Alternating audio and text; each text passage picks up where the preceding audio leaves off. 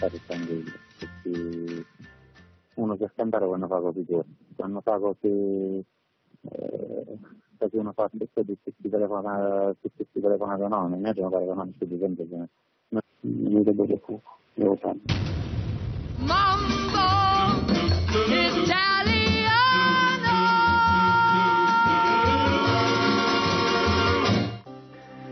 Brucia Roma, brucia Roma, il Parlamento.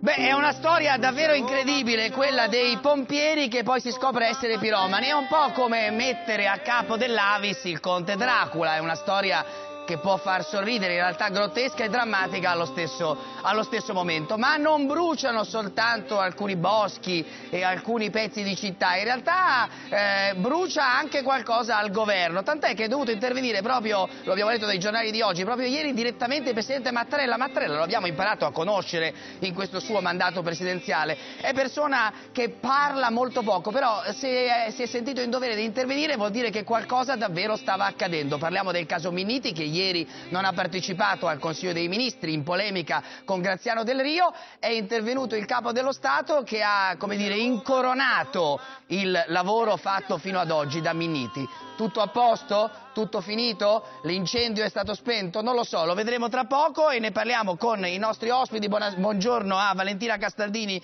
portavoce del nuovo centrodestra, benvenuta, buongiorno. Le faccio vedere, mettiamoci qua a favore di camera. Ieri uno è caduto, eh. Eh, ieri, Sono- ah, si è accorta, sì. Ieri c'è stato qui una, una sorta di attentato agli ospiti. Grazie. Prego. Andiamo a vedere ieri la prima pagina sobria del quotidiano diretto da Vittorio Feltri, libero, eh, dedicata ad Alfano. Vedi che ci sono. eh, no, cioè, eh, arriva, arriva. Non c'è ancora la pagina di libero? Vabbè, la vediamo dopo Urgu, non ti preoccupare, sono. Qua diamo Urgu, un applauso a Urgu, un piccolo È incidente è del mestiere. segno, è un segno divino, evidentemente. Chissà cosa c'era scritto. Eh? Sì? La- gliela faccio vedere dopo Ma- intanto. sono impaziente. Si accomodi, Gea Schirò, deputato del Partito Democratico, buongiorno. Della Commissione Politiche Comunitarie, benvenuta e bentornata.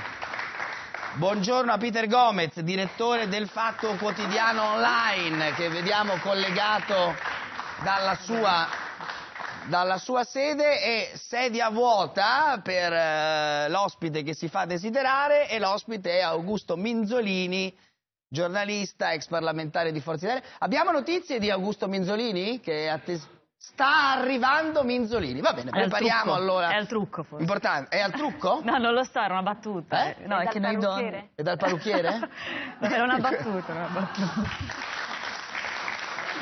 Dicono di noi. Serietà, serietà, serietà. Torniamo subito al caso politico del giorno. Peter Gomez ci aiuti per cortesia eh, a capire. Sì. Lo dicevo nella in apertura, l'intervento di Mattarella, del capo dello Stato, solitamente persona appunto misurata nei suoi interventi, nelle sue parole, ma anche proprio dal punto di vista istituzionale, intende il suo mandato in modo molto terzo, direi, no? senza la partecipazione che altri capi di Stato hanno avuto, penso a Napolitano, un, un ruolo molto più attivo. Ecco, l'intervento di Mattarella, come dire, ha rimesso in sicurezza il governo sul caso Miniti, è questa la chiave di lettura che possiamo dare?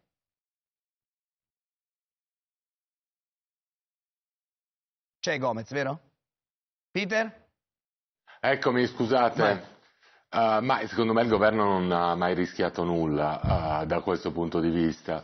Il punto è molto semplice. eh, secondo dal mio punto di vista la, la questione è molto semplice. L'Italia è uno Stato sovrano e ha tutto il diritto di mettere le regole che più gli aggradano rispetto a chi approda nei nostri porti. Dall'altra parte è perfettamente ovvio che le organizzazioni non governative, le quali non lavorano solo nel mare ma lavorano anche in territori di guerra, non vogliono avere eh, rappresentanti delle forze dell'ordine di qualsiasi colore o, eh, o militari eh, con loro perché poi se si trovassero in zone di guerra potrebbero essere accusati di non essere più delle oh, organizzazioni non governative ma essere delle organizzazioni governative. È esattamente quello che succede con Gino Strada ed Emergency, nessuno entra negli ospedali di Emergency se è armato perché la neutralità è essenziale. Detto questo, ribadisco, trovo assolutamente logico che uno Stato sovrano possa dire perfetto, le regole sono queste, vuoi starci, se, ci sta, uh, se non ci stai nei nostri porti non entri. Ultima considerazione da dire, tutta questa confusione nasce dalla decisione dissennata di fare a meno di Mare Nostrum, perché noi abbiamo finito per delegare a dei privati un compito che doveva essere svolto Certo. per forza dal pubblico, non solo italiano ovviamente, ma europeo. Eh, Schirò, c'è stato questo scontro al governo, cioè, eh, la notizia non- è evidente perché sennò non, non si spiegherebbe perché il capo dello Stato si è sentito di intervenire su questa vicenda. ONG, Miniti avverte, rigore o me ne vado, Mattarella lo blinda. Ma la dichiarazione di Minniti non credo sia virgolettata, infatti non lo è perché sono tutti retroscena, però, sono tutti non si, retroscena. però non si capisce se no perché Mattarella si sarebbe sentito in dovere di Beh, intervenire. posso dire, secondo me la tranquillità, del, cioè la tranquillità, la dichiarazione del Presidente della Repubblica è rivolta all'esterno e non al governo. Cioè, non ha- non ha il, bisogno- il Presidente della Repubblica non ha bisogno di parlare beh, attraverso i giornali a due ministri di un governo italiano o al Presidente del Consiglio. La dichiarazione del Presidente della Repubblica era rivolta al mondo esterno, ai giornali, ai, ai diversi orientamenti per dire tutto è tranquillo. Secondo me quel problema non c'era e le, le dichiarazioni di Del Rio e il grande lavoro fatto da Minniti sono assolutamente complementari. È un problema, come diceva Gomez, che non è mai esistito nel Beh, governo. non so se lei dice complementari, in realtà Del Rio anche oggi, come abbiamo visto anche dalla lettura dei giornali e non solo, eh, Del Rio ha una posizione diversa rispetto a Miniti, però vi facciamo No, risentire... posso, mi permette di, eh, di Sì. dire una cosa? Secondo me ecco, se ci può essere una differenza è sulle prerogative. Cioè Del Rio puntualizza le prerogative del suo ministero, quelle, insomma, un fatto di dialettica interna, ma non sullo scopo finale quale sia ehm, diciamo, il, ruolo de- de- dell'Italia. Insomma, non, non mi sembra questo il grande. I problemi sono altri, se vuole eh, ne No, no, parliamo. ma ora, Infatti. ora lo vediamo, io vi faccio però risentire soltanto cosa ha detto uno dei ministri del governo Gentiloni, Orlando, ospite ieri a In Onda, proprio su questa assenza di Minniti dal Consiglio dei Ministri e, sul e sulla differenza tra Minniti e Del Rio. Vediamo. Che comunicativamente noi dobbiamo stare molto attenti ad evitare una serie di banalizzazioni. La prima è che eh, far passare l'idea che siamo sotto eh, in una situazione di emergenza. Non è vero che c'è un'invasione che non ha precedenti nella storia, come invece appare spesso leggendo i giornali o, o guardando la televisione. Evitare il binomio sicurezza-immigrazione, come se eh, gran parte dei fenomeni dell'insicurezza nel nostro Paese siano risolvibili al tema dell'immigrazione, cioè se domani chiudiamo i flussi li- l'Italia non ha più problemi di sicurezza, non è vero purtroppo. Evitare anche un'altra banalizzazione che è quella che in questi ultimi giorni ho visto, che è quella di dire, siccome ci sono delle ONG che probabilmente, e poi dobbiamo capire il perché, non si sono comportati eh, in modo diciamo deontologicamente specchiato e forse anche con delle responsabilità penali, allora in generale è vero che tutte le ONG svolgono questa funzione.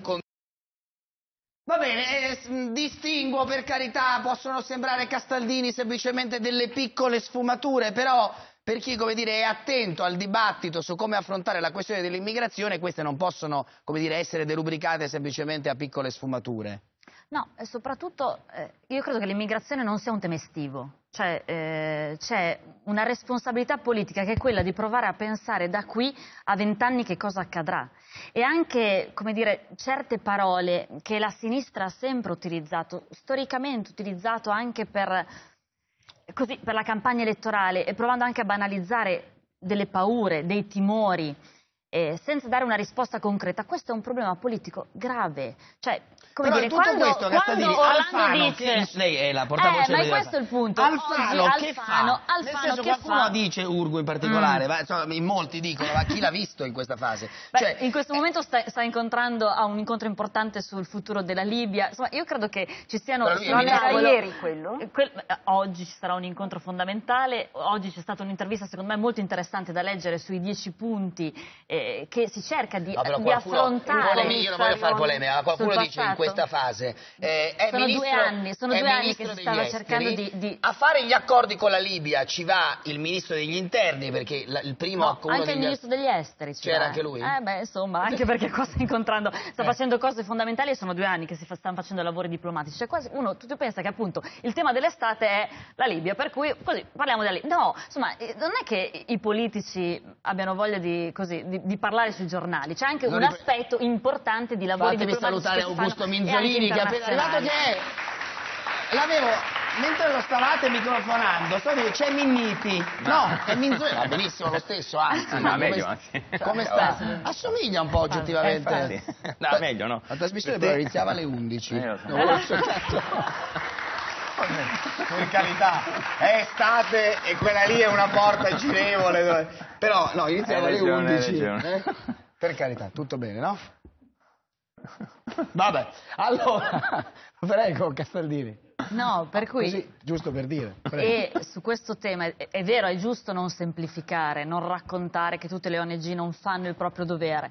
Però ricordo a tutti che il caso ONG è nato da un'inchiesta importante, è nato dalla questione di un procuratore che diceva che forse qualcosa di illegale c'era e che era giusto indagare. Allora, io credo che in questo momento storico, anche su un tema importante come l'immigrazione, fare un lavoro serio, senza, eh, come dire, farsi trascinare dagli eventi, ma provare a capire chi sta sbagliando, chi sta lavorando e anche, come dire, il tema delle forze dell'ordine sulle imbarcazioni. Io credo che sia anche a tutela di chi fa un lavoro impegnativo come l'ONG. Cioè non è solamente il controllo, non possiamo aver paura nel 2017 delle divise, le divise sono a tutela dell'ONG, in una situazione di guerra e di rischio personale. Per cui tutta questa questione io credo che venga sollevata con un po' di superficialità. Oggi bisogna fare un lavoro serio, bisogna fare un lavoro serio in Libia, bisogna fare un lavoro serio di controllo e poi c'è il tema dell'integrazione che Questo nessuno ora lo vediamo più. perché ci sono poi episodi che andremo a raccontare che sono avvenuti anche in queste ultime ore in diverse parti d'Italia. Però il, il contributo di Minzolini, che è un acuto giornalista e osservatore delle cose che accadono, le parole di Mattarella, no, dalle quali siamo partiti, grande apprezzamento per l'impegno del ministro Minniti in merito al fenomeno migratorio. Che cosa segnano? Cioè, perché un uomo come Mattarella ha, ritenuto Sai, importante spendersi in questa vicenda? A me quello che colpisce è che su un tema così delicato debba intervenire Mattarella, perché ti dà l'idea che all'interno del governo ci siano due posizioni diverse. Io non lo so, io credo, cioè noi non abbiamo idea, diciamo, del momento drammatico. Orlando può dire quello che vuole, ma almeno nell'immaginario, io, non dico, io dico che nella realtà, ma almeno nell'immaginario, basta vedere quello che è avvenuto nelle ultime elezioni amministrative, questo è il primo tema su cui si concentra l'attenzione dell'opinione pubblica. L'idea che tu hai due linee diverse e addirittura non hai diciamo, un responsabile, perché l'assurdo è che tu hai da una parte il Ministero dell'Interno, ma su un tema che dovrebbe essere un'emergenza e quindi dovrebbe esserci un grande coordinamento, c'è un altro ministro che mette la bocca, la guardia, la guardia costiera. Tu capisci che, Che è dipende assolutamente... invece dalla difesa, no? Sì, ma No, appunto. da- No, del dai Rio. Da- dai trasporti. Dai trasporti, però, Ma da tu Del Rio, capisci che certo. su una cosa del genere tu hai un disorientamento che anche rispetto al rapporto che tu puoi avere, non so, con la Libia o altro, dai l'idea di un paese Sì. che non ha le idee chiare. E questo secondo me è un danno superiore rispetto a tutto quello che noi immaginiamo. L'intervento di Mattarella, che forse Ride era- perché Gomez ha, ha ragione su questo, no, Minzolini? Perché sorride Gomez? Sì, no, ha perfettamente ragione, però Augusto, che è ancora un osservatore sicuramente più acuto di me, eh, appunto perché si rende conto di come l'opinione pubblica sia turbata da questa situazione, sa anche che le elezioni sono fra sei mesi.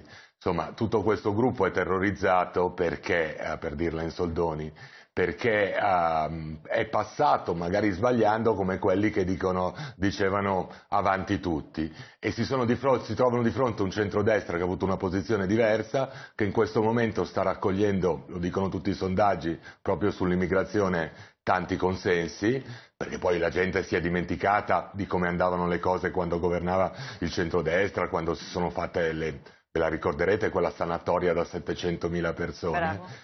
E il tema dell'emigrazione è diventato semplicemente tema di, da campagna elettorale, un po' come nel 2001, e Augusto se la ricorderà bene, la campagna elettorale che sancì la vittoria di Berlusconi nel 2001 fu basata tutta sulla sicurezza e sulle rapine in villa, eccetera, perché era un tema su cui il centrodestra era tradizionalmente forte.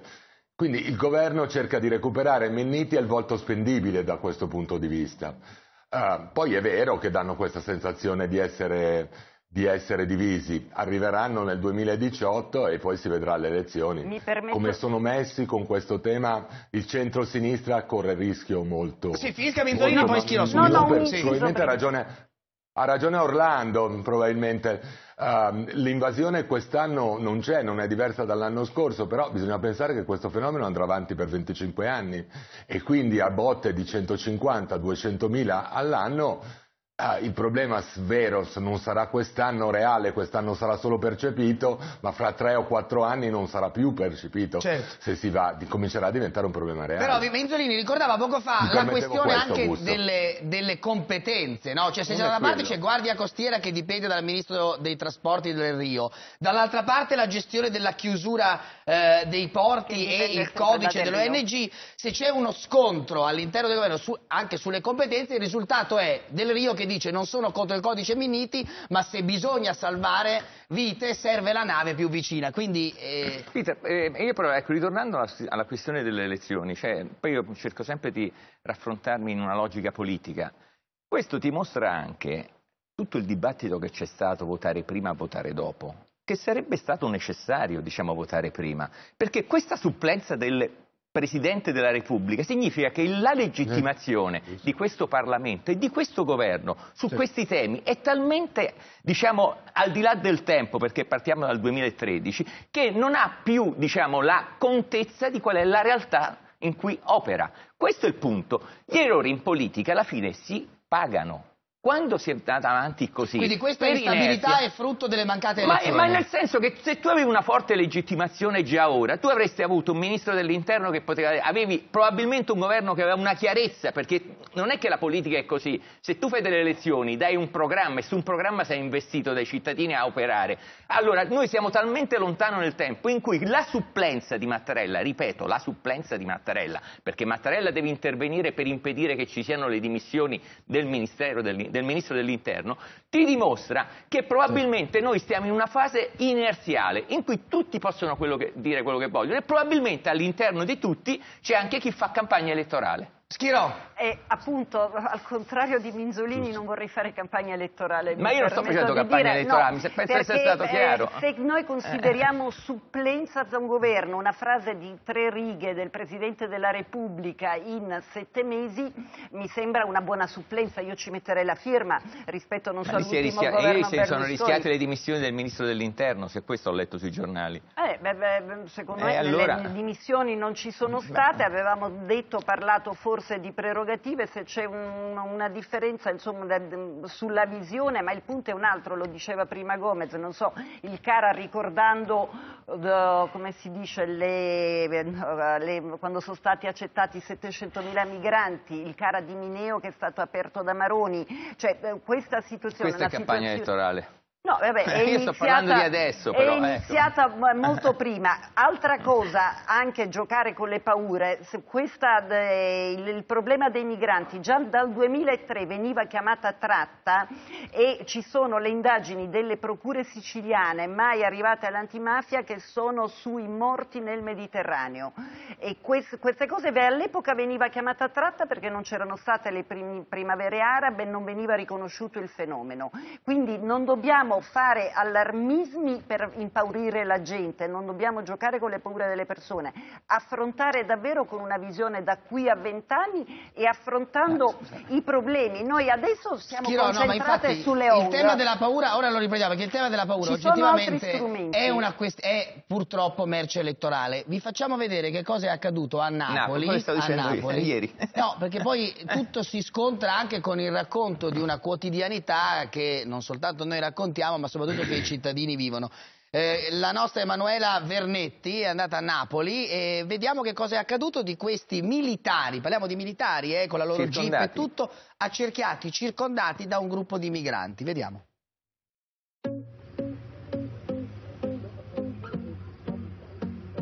Un uomo è a terra, quattro militari lo controllano. Si avvicinano dei migranti, un soldato cerca di fermarli, prima è solo un piccolo gruppo, poi accorrono alla rinfusa da ogni lato, tanti, troppi, per soli sei soldati. Ed è subito il caos. Scene di guerriglia urbana a pochi passi dalla stazione ferroviaria di Napoli, tutto ripreso dall'occhio vigile di uno smartphone che dall'alto documenta un vero e proprio accerchiamento delle forze dell'ordine. Il video viene postato sul gruppo Facebook del comitato di quartiere ed è subito virale. Abbiamo iniziato a dare delle testate in un uh, distributore automatico che si trova proprio dove c'è il video. Loro per evitare di, insomma, che si facesse male l'hanno bloccato Appena lo hanno bloccato sono accorsi tutti gli altri insomma, extracomunitari della zona. Gli extracomunitari hanno assaltato lo Stato secondo me e dopo hanno anche eh, urlato che loro dovevano andare via perché l'Italia era loro. Una cosa da brividi. L'uomo denunciato a piede libero è un marocchino di 34 anni, già noto alle forze dell'ordine e fermato in evidente stato di ebbrezza. Per portarlo via ci vuole l'intervento congiunto di polizia, carabinieri e finanza.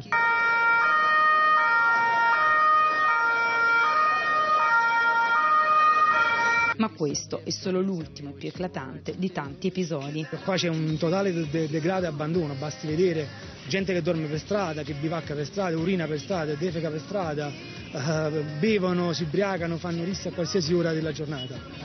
Prima era un, quartiere tranquillo, oggi non si può stare più.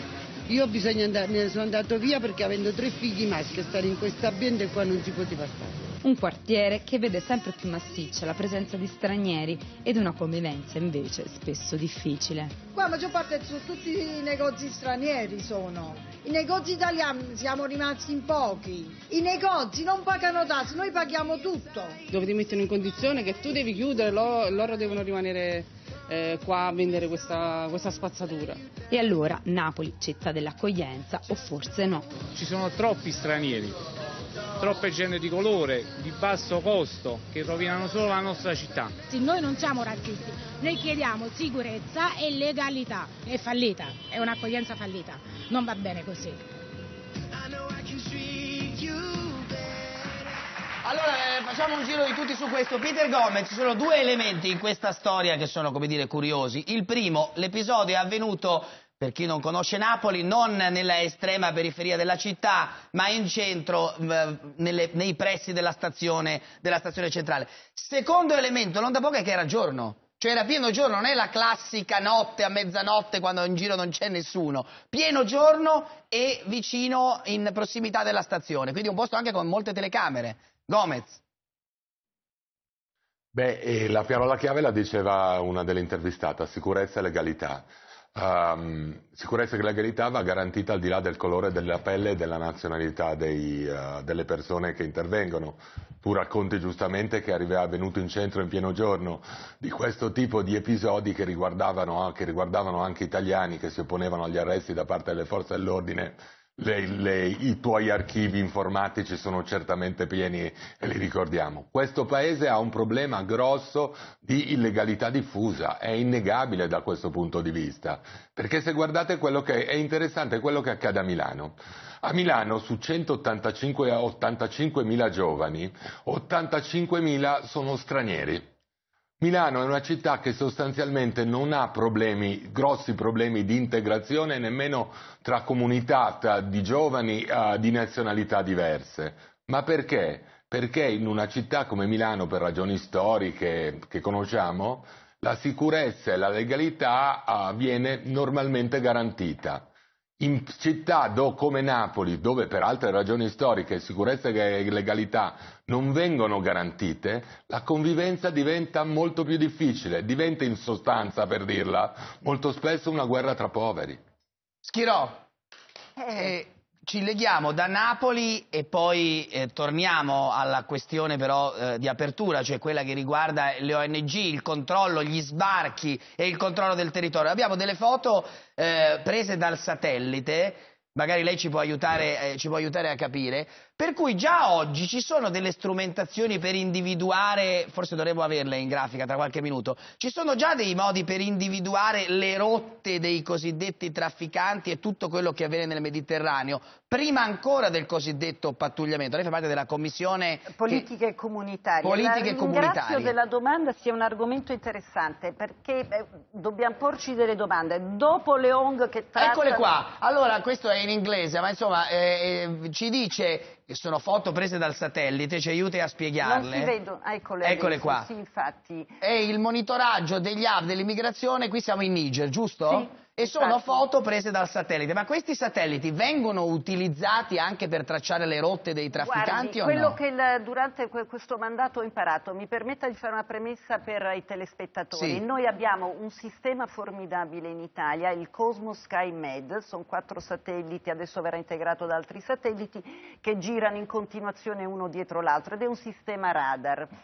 Questo che partecipa a diverse operazioni ovviamente viene usato anche dai partner europei. Poi esistono altri sistemi come il famoso Copernico con satellite Però ci sono 1 e questi 2, satelliti? Sentinel, scusate, Sì. 1 e 2 che è ottico e termico. Questo che cosa ci permette, l'immagine che lei ci sta mostrando? Di fare un'ipotesi, questo è il Niger, sono gli apps in Niger e sono anche cronologicamente disposti, quindi li vediamo vuoti, li vediamo crescere, li vediamo aumentare, pieni di persone nell'ultima immagine.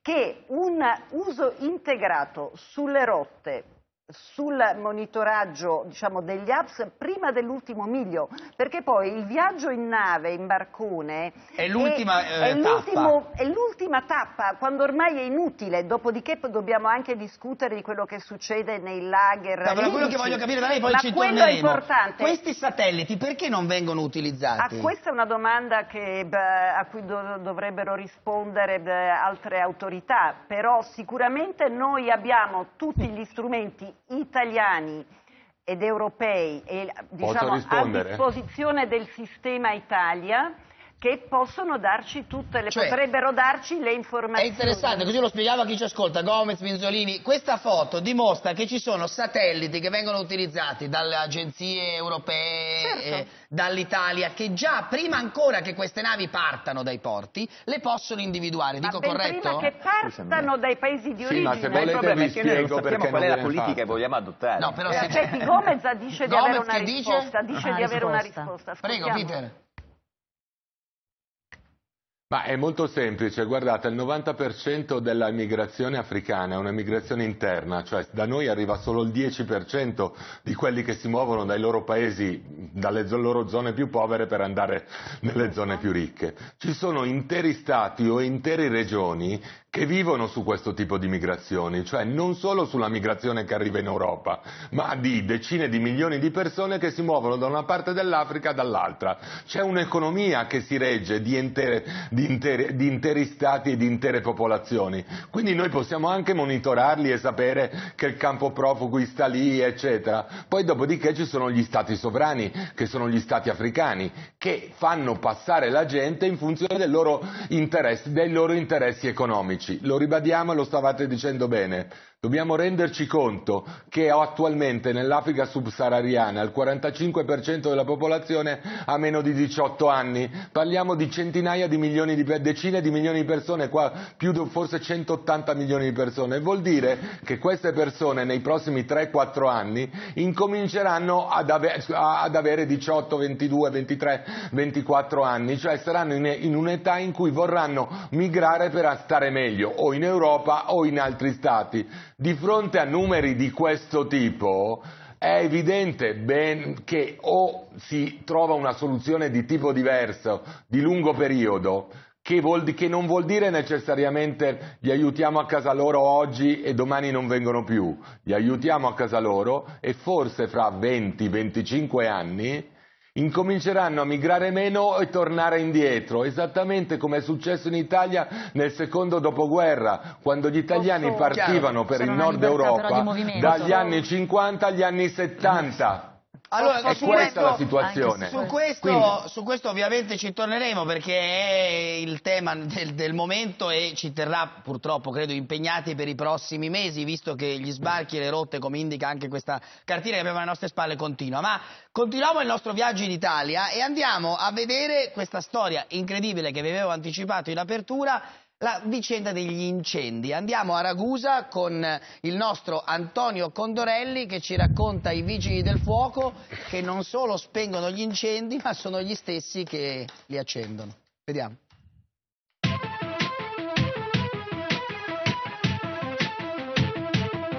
Ma che fai? Eh, deve dare fuoco apposta, ma, per- per- ma almeno c'era di, di guadagnare qualche cosa.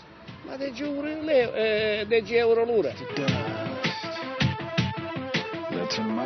Bruciavano i terreni per ottenere il pagamento di 10 euro l'ora. Stavolta i piromani, finiti nel mirino della squadra mobile di Ragusa, sono i vigili del fuoco volontari di Santa Croce di Camerina. In 15 sono stati denunciati. In queste immagini vediamo la squadra al completo che tenta di spegnere un incendio innescato pochi minuti prima da un complice. Avevano messo a punto un sistema ben collaudato per fare scattare le missioni e ottenere i soldi.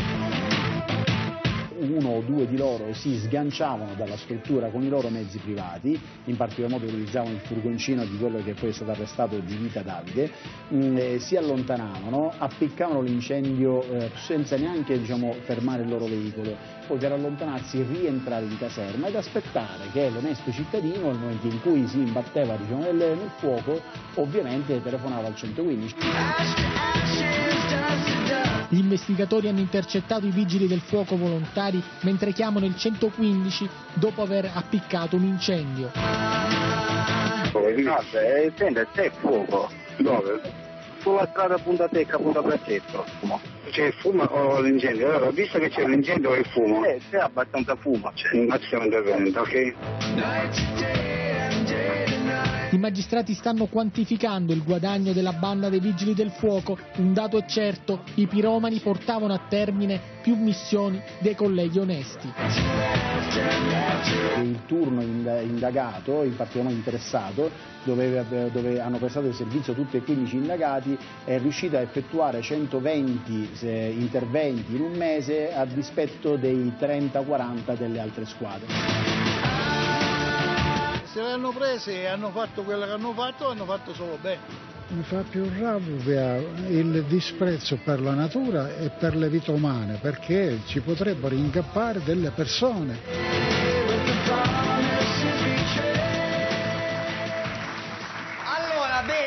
Anzi male, insomma, uno dei titoli più efficaci oggi è quello di Libero. Aspetta, Sisto, lo mostro a favore di camera. Sorprendente paradosso siciliano, dice il quotidiano diretto da Feltri, gli incendiari sono i pompieri. Arrestato un gruppo di vigili del fuoco volontari che appiccava roghi per Questo è sulle lavorare. elezioni, però. Questo è, come dice? È sulle elezioni siciliane. questo. sarcastica la nostra. Sì, può essere che sia anche quello, cara Schirò. Allora, con la nostra Ilaria, buongiorno, e benvenuta. Ilaria ci fa il punto su tutti gli incendi e le zone a rischio, però vedo che hai scelto di aprire il tuo approfondimento con... Con l'account Twitter dei Vigili del Fuoco, proprio quello di cui parlavamo Quello adesso, quello certo. ufficiale, esattamente. L'ultimo loro aggiornamento, che è di tre quarti d'ora fa, dice 60.000 roghi spenti fatti dai volontari di Ragusa ci indignano, la strumentalizzazione pure, quindi oggi profilo chiuso per rispetto ai Vigili del Fuoco. D'accordo. Questa è un po' la risposta a quello che è successo, che è successo in Sicilia. Se poi però scorriamo nei giorni scorsi questa, sempre questo account ci risulta come un bollettino di guerra perché ogni giorno loro aggiornano tutti gli interventi che fanno, quindi 1090 interventi il giorno prima, 616 il giorno prima ancora. Ecco, attraverso questa pagina in realtà è il lavoro di, di tanti vigili del fuoco che in realtà il loro lavoro lo fanno, eh, si può vedere qual è la situazione, la situazione italiana. Noi qualche settimana fa siamo stati sul Vesuvio, siamo stati a vedere che cosa è successo, abbiamo accompagnato gli uomini della, della forestale e dei carabinieri nelle fasi di ripertazione per, eh, per andare a caccia di questi piromani. Ecco, quello che noi abbiamo visto era un cimitero, un cimitero enorme vede, possiamo vedere nelle immagini, un cimitero di, di, alberi, di decine di ettari di alberi distrutti.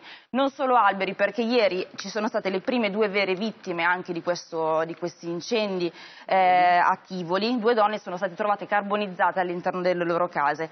Ecco, ma eh, quanti sono questi, questi incendi? Lo vediamo nel cartello successivo. Nell'ultimo mese, quindi il disastro dell'incendio sì. è iniziato più o meno all'inizio di giugno, no?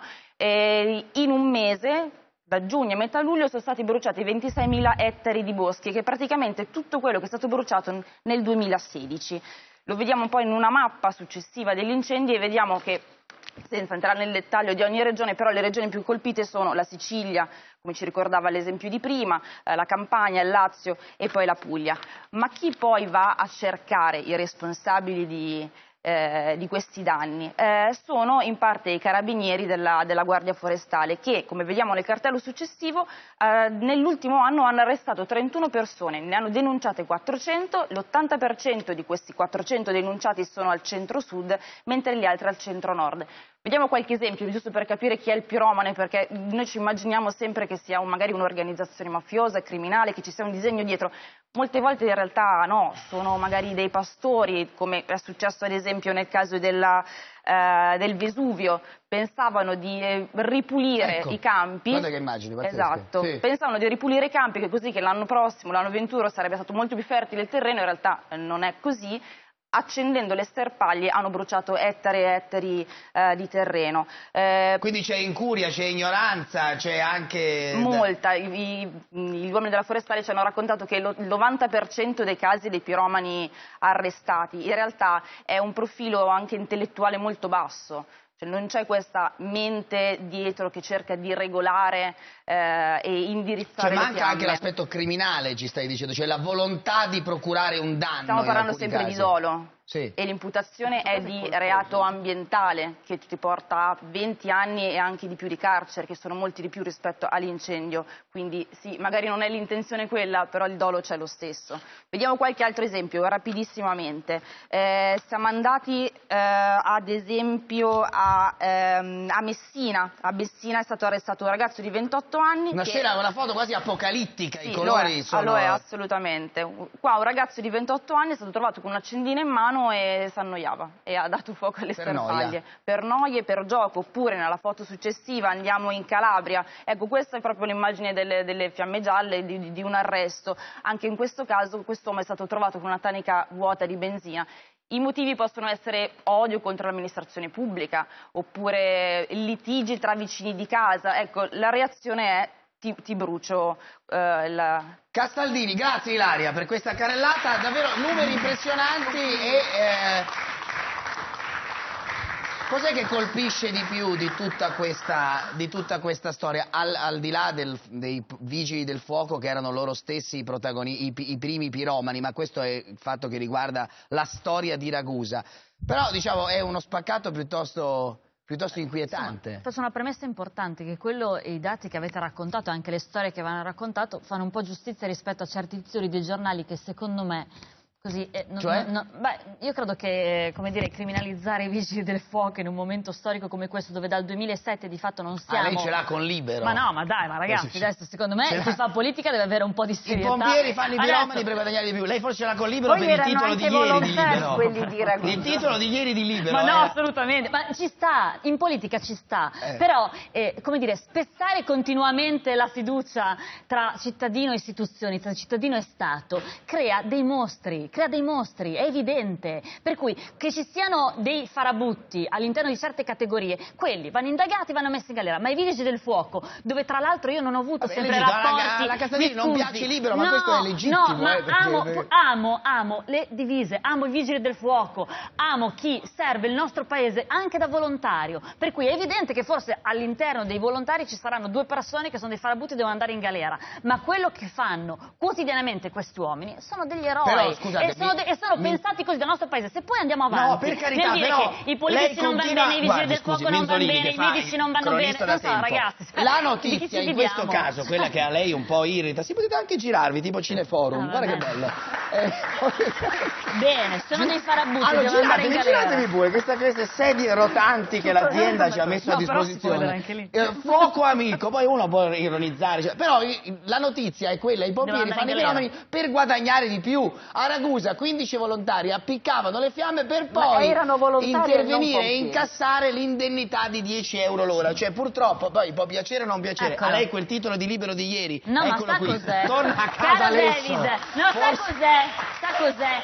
Che io Forse facendo... lei è arrabbiata, Aspetti, no, non sono arrabbiata per quello, perché in politica dopo vent'anni ho imparato che sono, come dire, più pericolosi i polli in politica E che i lessi. Ah. Preferisco, cioè, preferisco onestamente E un titolo così. polli, Eh, ce ne sono tanti. Mi dica un pollo in politica. No, no, non lo direi Uno. mai perché sono una signora. Un. Però secondo me i polli sono un po' più pericolosi in politica. Sono E i polli, i polli di batteria, quelli che Eh. vengono allevati per dire le stesse cose, a volte banalità, però insomma, quelli mi preoccupano di più. E chi è il che i polletto? lessi. Eh? Che i lessi. Ah, i lessi ne ho visti sono- tanti di polli da batteria. Gomez, Gomez, la vicenda, eh, la vicenda degli incendi. C'è Peter? Sì. Sì, ci sono, ci sono, sto seguendo. No, ecco, volevo La capire. incendi mi dicevi? No, eh, volevo capire questo. Effettivamente guarda, questa al- è una grande emergenza questione di nazionale. Ragusa- in un di paese. Ragusa- Sì. Gli abiti di Ragusa mi colpisce una cosa, eh, poi eh, prima di criticare vorrei leggere le carte, ma è possibile che questi reati fossero stati commessi nell'estate del 2015 e sta gente viene presa due anni dopo? Insomma, è un po' grave, adesso mm, immagino che la magistratura avrà avuto tutti i suoi buoni motivi, però oh, leggevo sui giornali che gli episodi risa- risalivano a due anni fa. Eh, evidentemente. Um, l'altra considerazione che faccio sul- la- l'altra considerazione che faccio sugli incendi è la seguente. Uh, noi abbiamo commesso un grave errore di coordinamento nel momento in cui abbiamo deciso di abolire lo Stato, il corpo forestale dello Stato, che è una cosa diversa dalle guardie forestali, da quelle che prendono tutti quei soldi, i quali sono entrati nei carabinieri. Come al solito, per problemi all'italiana, oltre che cambiare le divise, lo sappiamo, molti dei mezzi, per esempio antincendio del corpo forestale, per tante tante settimane quest'estate non si sono potuti alzare nella loro attività antincendio, appunto perché c'è, stato c'è stata la fusione fra i due corpi. L'altra cosa che abbiamo che saputo questo. è che questi 8.000 uomini che facevano un lavoro di prevenzione importante all'interno dei boschi, quest'anno, perché siamo arrivati alla fusione, quest'anno non l'hanno fatto. Allora abbiamo la pubblicità E, e, insomma, torniamo di tra pochissimo. Cose Scusami Peter, così riprendiamo anche questo. Perché sono le 11.40, abbiamo un tassativo, ma pochissimi minuti incollati al televisore, tra poco. Un, sa- un dato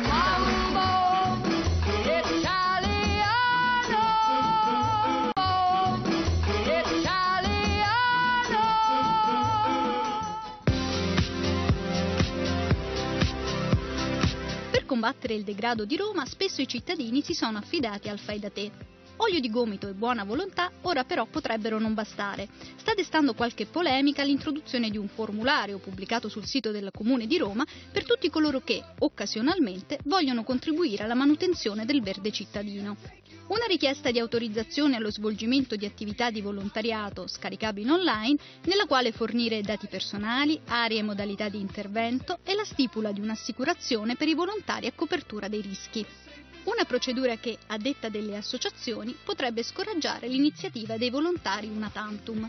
Siamo lungo le mura aureliane in un tratto che è stato gestito da un comitato. Sì, è stato gestito dal Comitato Mura Latine e d'ora in poi invece eh, per fare anche qualsiasi piccolo intervento eh, un singolo cittadino dovrà comunicarlo 30 giorni prima, avere un'assicurazione, comunicare i dispositivi eh, di protezione individuale, questo secondo noi scoraggerà molti piccoli interventi da parte delle persone che abitano nelle immediate vicinanze e che vogliono fare qualcosa.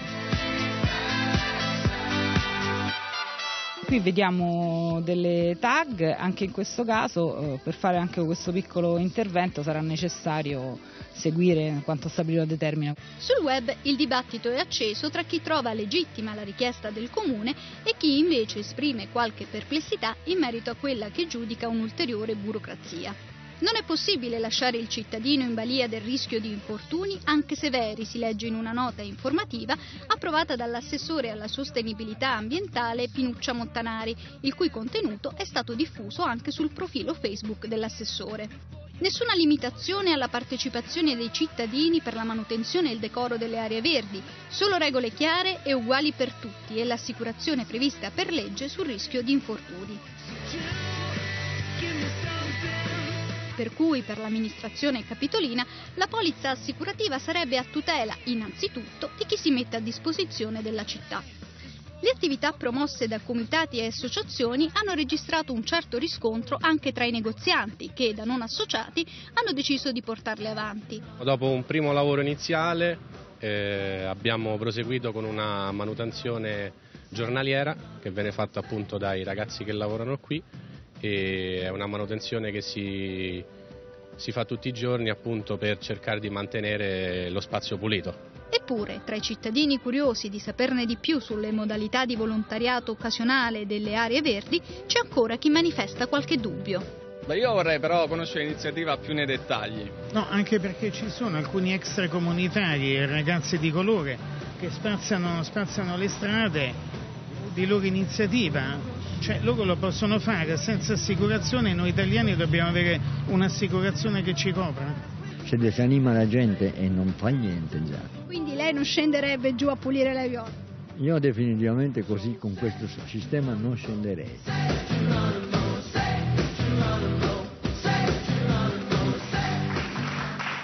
Anche qui eh, facciamo un giro rapidissimo, Schirò, Minzolini e tutti gli altri, cioè sembra come dire una cosa degna di Kafka o della più odiosa burocrazia, però forse in realtà in questo caso la Giunta Raggi ha anche le sue ragioni nel dire se ci sono gruppi di cittadini che si mettono insieme c'è bisogno di avere una copertura assicurativa per i loro interventi su strada. Possono sembrare grandi no, paradossi italiani, scusi, però... No, mi scusi, ormai la Giunta Raggi sembra come dire, il soggetto di una, una puntata dei Simpson, perché eh, la, la, Raggi... Lei, con la sua, come dire, eleganza e grazia siciliana, senza mai livore, però tira certe randellate. No, ma sa cosa? Una cosa che fa rabbia, perché... Sì il, eh, innanzitutto sono 18, cosa sono, 15 mesi che ancora dobbiamo finire le nomine, primo. Vabbè, quello, e sarebbe, quello sarebbe legittimo per la ma città. Nel merito questa cosa Secondo, la ritira una follia no, lei? Ma no, ma sa perché? Innanzitutto vorrei vedere la delibera che autorizza a domandare dati sensibili alle persone,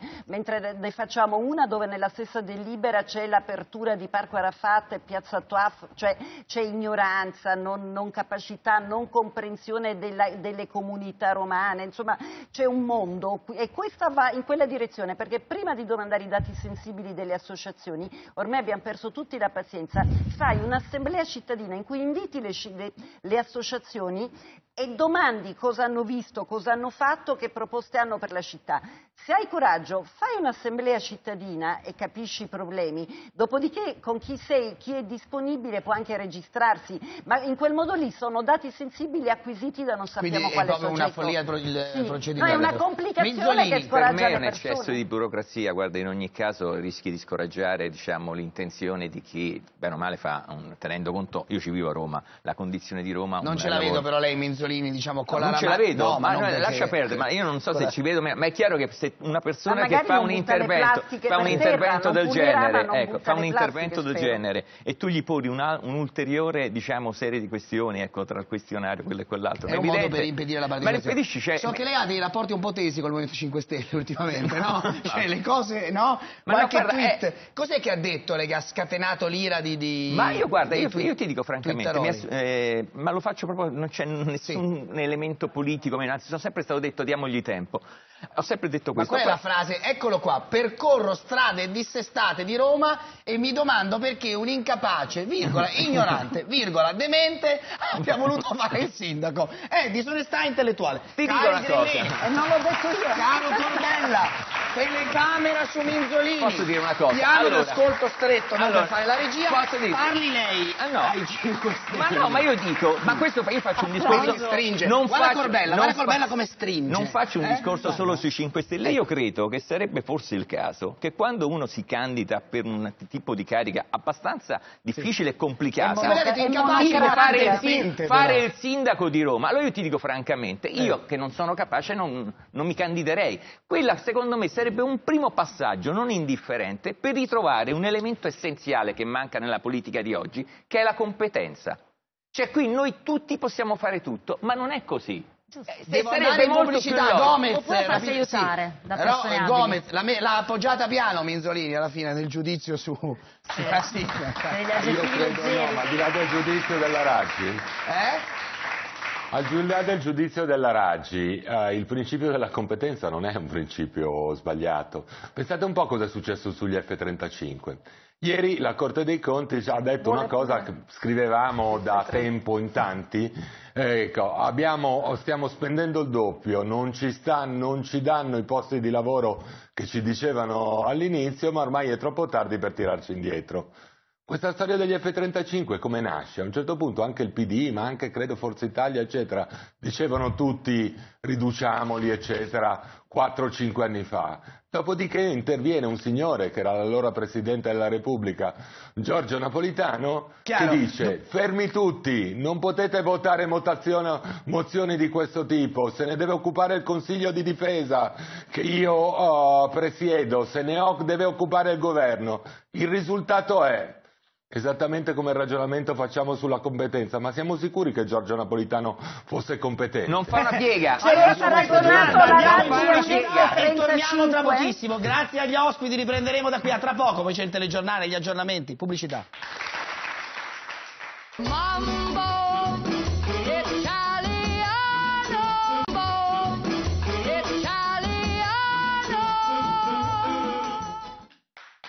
Ore 12 in punto, tra poco vi presenteremo i nuovi ospiti e in più super collegamento da Urbino con il professor Vittorio Sgarbi che ci accompagnerà in esclusiva con le nostre telecamere dentro questa mostra straordinaria e quindi tra poco ci collegheremo con noi. Ho prima visto del... Ecco qua, intanto vediamo Urbino, tra poco vedremo anche il professore Sgarbi con questo straordinario cappello piuttosto eccentrico in testa. Va bene, ma noi invece prima le cose serie. Adriana Bellini, TG 7, buongiorno.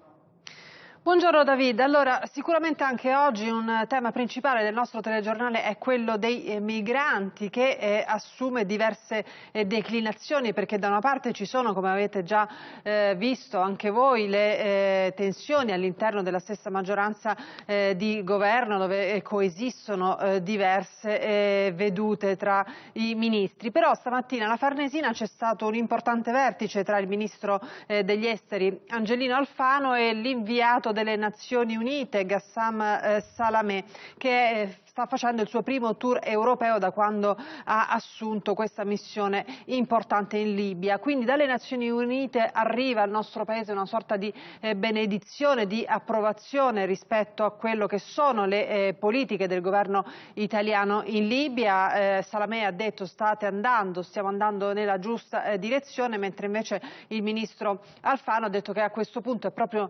necessaria una condivisione delle vedute e soprattutto eh, il fatto eh, necessario che le Nazioni Unite prendano un po' la leadership di questi eh, negoziati che finora non hanno eh, portato un granché. E per quanto riguarda i migranti poi vedremo anche delle immagini che sono abbastanza impressionanti che ci arrivano dalla Spagna, dalla enclave di eh, Ceuta al confine con il Marocco dove questa mattina eh, un migliaio di eh, migranti eh, subsahariani hanno tentato un assalto eh, per cercare appunto di entrare in Spagna, un assalto violento eh, che è stato represso dalle forze dell'ordine spagnole ma anche eh, marocchine, ci sono stati eh, diversi eh, feriti, insomma tutto questo a dimostrare quanto si tratti eh, di un problema globale eh, che interessa molti paesi. Poi ehm, andiamo negli Stati Uniti d'America dove c'è un interessante eh, documento che è stato pubblicato oggi dal New York Times sul cambiamento climatico. Ci sono eh, diverse agenzie con eh, rispettabilissimi scienziati eh, che mettono in avanti eh, un allarme fortissimo su quello che è il surriscaldamento eh, della Terra che dicono su basi scientifiche è dovuto alle attività umane. Sono stati gli stessi, sembrerebbe, scienziati americani a far trapelare eh, eh, documento, questa bozza ai giornali, al New York Times in particolare, per paura eh, che tutto questo possa venire insabbiato dall'amministrazione di eh, Donald Trump che, eh, come è noto, eh, nega eh, che questi cambiamenti climatici esistano e ha deciso di voler anche uscire dai trattati che sono stati stabiliti dal suo predecessore Barack Obama a Parigi. Dunque, queste sono le nostre notizie principali. Naturalmente parleremo anche di eh, Venezuela, la tensione resta altissima. Io vi ridò la linea. Grazie Adriana Bellini, appuntamento alle 13.30 con il telegiornale della 7. Ci hanno raggiunto in studio Raffaello Lupi, tributarista, buongiorno. Salve. Il terrore del fisco, al suo fianco Walter Ver... Non le piace il terrore del fisco? No, giurista, io occupo di tutti gli uffici pubblici, quelli tributari sono uno. Come tutto si arrabbia qua. su? Non ho capito. No, mica mi arrabbio, sto dicendo puntualmente. E se no mi fai parlare solo di tasse. Walter Verini, Partito Democratico, buongiorno. Massimo Blasoni, eh, uno dei massimi esperti di, di temi legati al lavoro, presidente del centro studi impresa lavoro, ben- bentornato anzi, e per fortuna rimane con noi anche Augusto Minzolini. Allora, andiamo Prima di vedere questa vicenda del bancomat, dell'obbligo per i commercianti no? di avere il bancomat, di pagare col bancomat, il tema della tracciabilità del denaro per combattere l'evasione fiscale, si sta già arrabbiando Lupi. Che c'è Lupi? Non ho capito. No, no, niente, mi mi viene da ridere, niente. Poi dopo ne parliamo. Eh? Forte Lupi. Urbino! Allora, la nostra Ludovica Ciriello, la nostra Ludovica Ciriello l'abbiamo mandata con il professor Vittorio Sgarbi, speriamo che vada tutto bene. Ludovica, buongiorno, guarda che meraviglia di immagine, bello, il bello della diretta. David, sì, stiamo Eccoci. in qua... Stai vedendo? Ecco. Senti, vo- oh, siccome qui abbiamo più le autorizzazioni, sai che lo Stato è diviso, comune, Stato, con allora per parla? fare questa ripresa dovremmo avere un'autorizzazione. In realtà vedi il più bel cortile del mondo, Bellissimo. la più bella immagine del Rinascimento, la città ideale che diventa reale e al centro un cavaturaccioli messo da un direttore che pensa di poter fare quello che vuole perché non c'è lo Stato. Lo Stato non c'è, quindi prendono uno scultore anche importante, Tony Sì. Craig, che per ragioni di mercato trae beneficio dall'essere al centro del miglior cortile del mondo e paghiamo noi 50.000 euro. Lo Stato paga per Sì. mettere dentro quel cavaturaccioli. Ecco il frutto della riforma di Franceschini sbagliata Eccoci. per avere un direttore austriaco in Italia che dirige Palazzo Ducale. E non sapendo cosa fare, non conoscendo l'italiano, questo direttore, Sì. in questa piazza, lì c'è il mio ufficio, guardatelo. Andiamo a vedere da che cui io l'ufficio, tutto, benissimo. in questo La palazzo meraviglioso, quello, quello lì, quello davanti con le cinque finestre, è l'ufficio Sì. dell'assessore alla rivoluzione che guarda e controlla. Questo è il palazzo meraviglioso con Sì, le pietre bianche e i portali meravigliosi e lì capisce anche un deficiente che si entra. Ci ha messo ingresso, entrance, entrance, in trance. Ha i- scritto ingresso violando un'architettura del Rinascimento con una sovrintendenza cieca che lascia scrivere una merda come questa Vabbè. senza rispetto per la storia e la bellezza. Allora, scusi, Sgarbi, è solo l'inizio questo. Dobbiamo arrivare alle 13.30. Un No, come se non sapesse, Eh. come se non sapessimo Sì. siamo a Palazzo Ducale, compenso per sapere cosa c'è dentro, hanno messo questo cartello che sembra un cartello della pubblicità della pasta, della pasta all'uovo, con i torricini di apertura, eh, l'Ogli, un, scultore, un pittore con una certa delicatezza, e il ritratto ritrovato. Di quella cosa del ritratto ritrovato ci sono lungo il percorso almeno 200 cartelli pagati da noi per indicare una mostra che deve andare a cercare, perché i cartelli si vedono bene, quando arrivi qui dici dov'è la mostra? Chissà. Allora in compenso abbiamo risposto come? Aspetta, perché qui Chi O era, sembra signora? la guerra delle due rose o sembra la guerra di Peppone e Don Camillo. Ingresso principale, però non sul C'è portale. l'ingresso principale Sì. che loro hanno posto. Però al di là di E questi, la come mostra dire... finalmente un manifesto che si vede bene, Rinascimento segreto, che è un- Sì, David, dimmi. No, no, ottimo, mi pare una partenza straordinaria. Sì, sì, Sembrate due adorabili turisti americani, eh, una coppia perfetta. E tra poco andremo a vedere questa mostra straordinaria. Grazie per questo inizio, Vittorio. Ci hai già. Poi entreremo, però Sì. ingresso principale, Rinascimento segreto. Sì, Ecco. ottimo, quello è l'ingresso principale. Qualche piccola eh, segreto non si deve Vedo che ci hai già portato appunto in questa polemica Ho che tu fai rispetto a come ti hanno, come dire, no, allestito all'esterno la mostra, mi pare di capire. Però eh, ci torniamo, ci torniamo Sì. tra pochissimo. Io intanto, cosa succede? Va bene lì tutto? Sì. Eh. No, è bella anche questa immagine. andiamo dentro. Il braccio va bene? Stai meglio, professore? È un'installazione. Il braccio, Il braccio dico. va bene, sì. Sì. Ludovica è bravissima. Ottimo. Devi sapere che fra due giorni dentro. ci Sì. sarà qua ad Urbino la festa del Duca Sì. e il comune, come la cosa più importante per questa festa del Duca, in cui vengono 50.000 persone, ha dato come contributo questa mostra di Rinascimento Segreto. Questa è la mostra istituzionale della festa del Duca. Bellissimo. Si pagheranno 5 euro per entrare in città, cosa che mi sembrava discutibile, ma chi li avrà pagati avrà 5 euro di sconto per vedere la mostra di Rinascimento Beh, Segreto. stupendo. Voglio anche- Allora, pochi minuti, pochi minuti e con il professor. Sgarbi, la nostra Ludovica, eh, entreremo a vedere questa mostra in esclusiva, in diretta all'aria d'estate. Prima però vi facciamo vedere questo servizio interessante di Peppe Ferrante, gli italiani allergici al bancomat. Seguiamo, ecco l'ingresso, vedete? Anche con la camera sporca, vedi loro che entrano, magnifico. Bello, grazie Corbella. Bene, entrano nella mostra e noi vi facciamo vedere la polemica sul bancomat e poi torniamo da Sgarbi. Lo si può pagare col POS qua? Che ne pensi del? Eh, Per me è una scocciatura. Lo so, io ho il commercialista, finché non è obbligatorio proprio, andiamo avanti così, come so, che ne so. Cioè, io già, già non campo, non vivo. Che cazzo faccio io? Ma questo barista il POS dovrebbe averlo per legge e il governo ha annunciato che alla fine di settembre arriveranno anche le multe per chi non ce l'ha. Andando in giro per la capitale ci rendiamo conto che pagare con il bancomat non è proprio semplice. Il caffè lo posso pagare col bancomat? No, mi dispiace, non ci abbiamo il bancomat. Eh, ma da settembre ci saranno le multe, eh? Ah, no, non lo sapevo. Così faccio sapere al capo mio. Posso pagare con il bancomat? Io non ce l'ho di bancomat. Eh, ma è obbligatorio. Io non lo so di obbligato, quello di obbligo.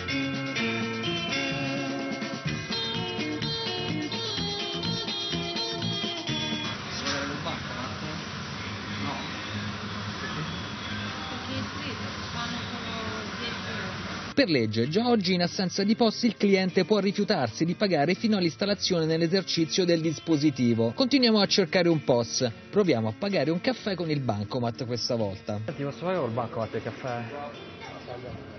Non c'è, ma non è obbligatorio, nessuno mi fa il caffè con questo bancomat. Vabbè, ok. Le lascio il nome e cognome e pago quando mette il POS. Ma se ne larga.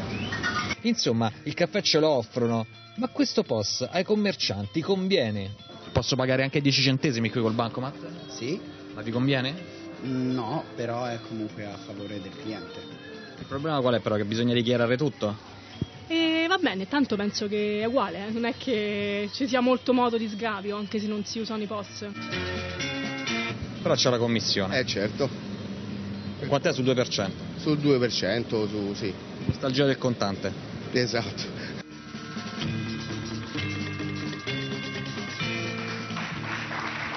Allora, tra poco torneremo dentro questa straordinaria mostra. eh, il nostro carondimonio Vittorio Sgarmi ce, ce la commenterà live. Prima, però, con il nostro Michele vorremmo andare a raccontarvi questa polemica, eh, anzi, questo excursus tra bancomat o eh, cash o denaro contante.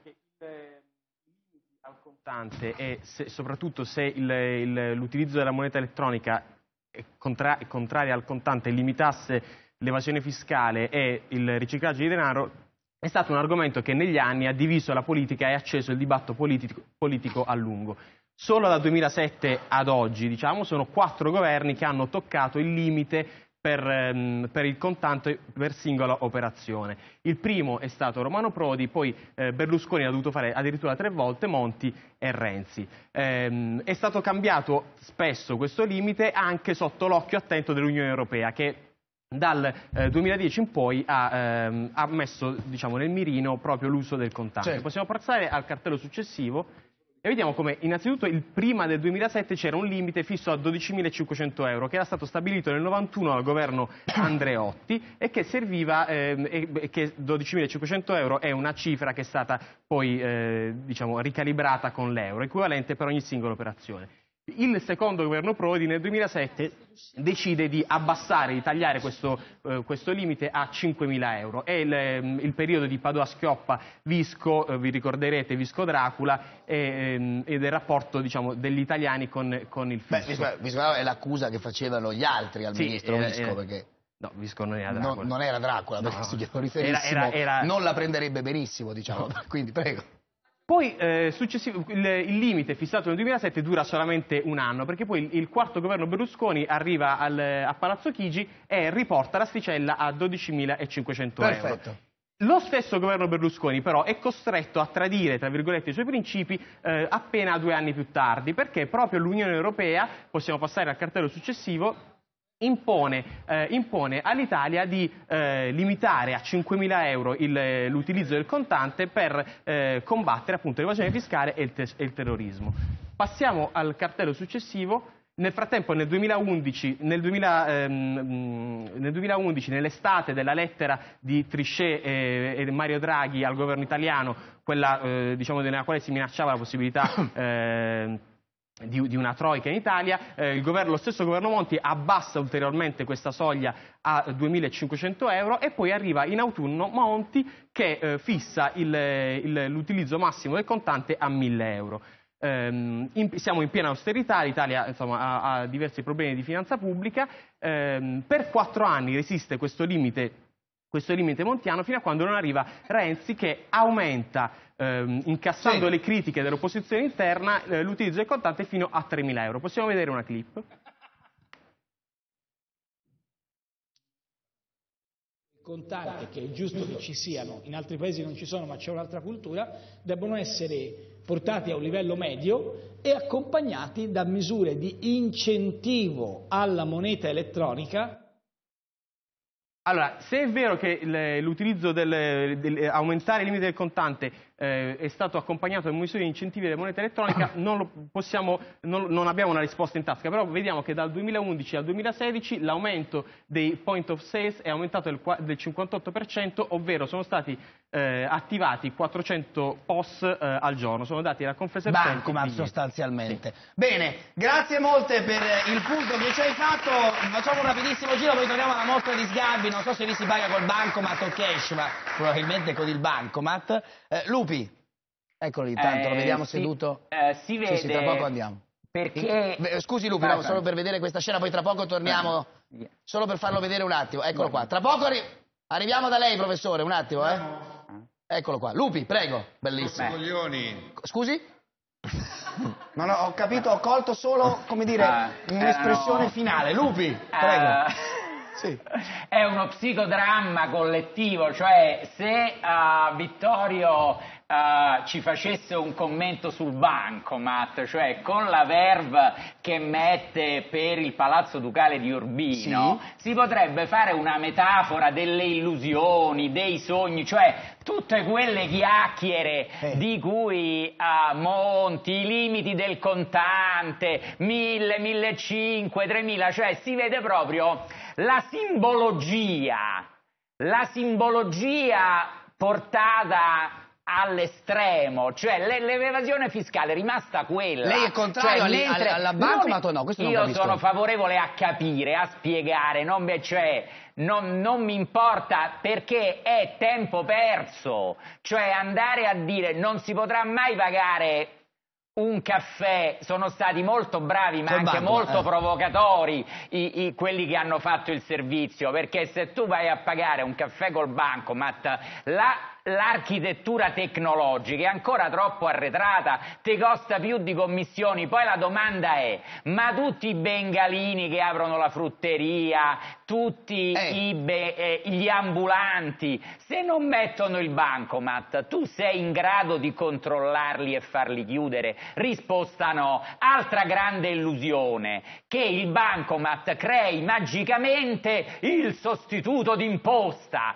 Non viene fuori, non si crea un sostituto d'imposta che dice al fisco, non si potranno mai usare le banche come grande sostituto d'imposta tipo il padrone della Sette che dice a Davide Parenzo Sì. gli ho dato tot mila euro, così è facile. Quando Beh, tu facile, vendi le scarpe Eh, sì. con la bancarella, pure se c'hai il bancomat, nessuno dirà al fisco Quindi non è vero che combatte l'evasione. Non Adesso sentiamo Verini e tutti gli certo, altri. meglio i Sgarbi. contanti però... No, no, chiaro, l'obiezione Eh, esiste, di ma sostanza. è- Arrivo Verini. Ah. Sgarbi, che succede Sì. lì? Prego. Dove... No, dicevo che l'evasione per il caffè e per le piccole spese è obbligatoria. Il bancomat è una ridicolaggine di una struttura di controllo ridicola. Uno ha diritto di pagare con la moneta contante e posso raccontarti un aneddoto di molti anni fa, quando non correva ancora eh, bancomat o carta di credito. Raccontano che Sofia Loren, con un tratto di avarizia nobile, ogni volta che andava al caffè pagasse con un assegno per avere ovviamente il caffè in cambio di un autografo che non veniva riscosso. Questa mi pare la cosa ideale. Cioè Bellissimo. io firmo Sgarbi e per ogni caffè che prendo nessuno cambierà quell'euro e 20 per avere il mio autografo. Questa mi pare una cosa evolutiva meravigliosa. Però è vero che se uno si rifiuta di prendere il contante tu puoi dire io non ho carta di credito, quindi non pago. È, è ass- è assurdo, è un meccanismo di uno Stato che vuole controllare. Quando leggevo ieri Berlusconi che dice tra le novità e le importanti iniziative del mio governo c'è la patente a punti. Ma che cazzo è un ricatto per farti pagare con soldi ulteriori un'altra patente? Di autovelox. Sì, eh, cioè, uno Stato liberale non può mettere continuamente controlli di ogni natura, perfino sul caffè. Il caffè deve essere esentasse. Ne compro quanti mi pare tutti i giorni, li offro. Li offro. Quindi mi sembra che sia una polemica ridicola di uno Stato oppressivo e fascista nella sostanza. Addirittura. Che vuole controllare tutto. Allora, vi- Detto ci- questo siamo davanti a Ecco, bravo, sì. Vediamo, Ludovica Ciriello e Vittorio Sgarbi. Anche Ludovica Ciriello è un'opera d'arte vivente. Ti voglio, ti voglio solo giusto. Sì. Sì, sì, prego. dici? Dimmi, dimmi, Ludo. Vai. Ti voglio solo giusto introdurre un attimo su- sulla, sulla mostra che si chiama Rinascimento Segreto perché mette in luce, mi corregga se Sì, sbaglio, alcuni autori che sono stati trascurati negli anni ma che vengono qui riproposti come comprimari rispetto ad altri grandi nomi. Più vicino al microfono. È la parola giusta. E siccome il Rinascimento italiano è molto variegato ed è una ricerca che si muove in ogni città italiana, come sintonizzati l'uno con l'altro, da Piero della Francesca a Antonello a Bellini, cioè dalla Sicilia alla Toscana a Venezia, ci sono autori cosiddetti minori, che in realtà sono comprimari, giusta parola, che si muovono in ogni parte d'Italia. Qui siamo a Piacenza con il De Carro e qui siamo a Ferrara, che mi è molto cara, col maestro di Casa Pendaglia, che è un maestro gotico, elegantissimo, che anticipa i grandi pittori che lavoreranno a Schifanoia e faranno un rinascimento come quello di Piero della Francesca a Urbino e di Mantegna a Mantova. E le cose di questi ferraresi, che sono su queste pareti molto presenti, sono raffinatissime. Guarda questo gruppo di angeli che stanno cantando la gloria di Dio che è nato e che non ha intorno i pastori, ma ha intorno un Sant'Antonio Abate con una, dona- con una donatrice, vedi una, una figura femminile di monaca, perché evidentemente questo era un quadro che stava in un convento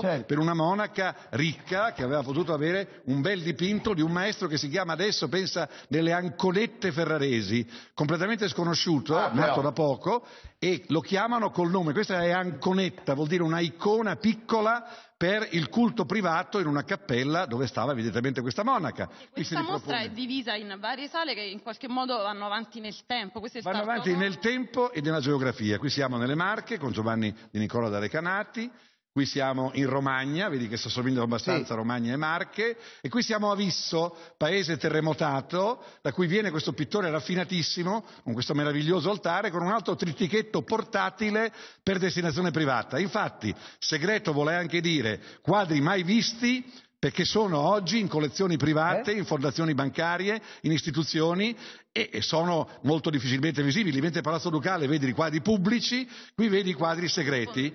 E qui abbiamo una parte invece di autori di Centro Italia, abbiamo Nicolò di Liberatore, detto l'alunno, con questa bellissima pietà di cui farei- vi farei vedere un particolare che aggiunge al colore quella che si chiama pastiglia, cioè Sì. le aureole, il fuoco delle candele e i chiodi sono in rilievo, se ti avvicini lo vedi, Ah, sono in rilievo per dare il senso di una profondità Ah, ancora certo. più forte. Vedi Sembrano quasi in, in tre dimensioni, qui quasi in 3D. questo- Quasi in 3D sembra. Questo quasi in tre dimensioni per dare il senso della profondità attraverso le aureole. Allora, e state questo lì. bellissimo dipinto di fammi vedere l'ultimo che poi torno, di Alesso mi- di Benozzo Gostoli Sì. e l'adorazione dei due sì, chiudiamo con l'Italia centrale, qui siamo appunto tra Umbria e Toscana, poi torneremo Sì? dopo Bravo. Ferrara, Verona, eccetera, e qui vediamo questi due bellissimi angeli che adorano l'Eucarestia con una eh, co- come dire, l'ostia che vedete in alto e questo calice meraviglioso che diventa il simbolo di Cristo stesso con il cherubino sotto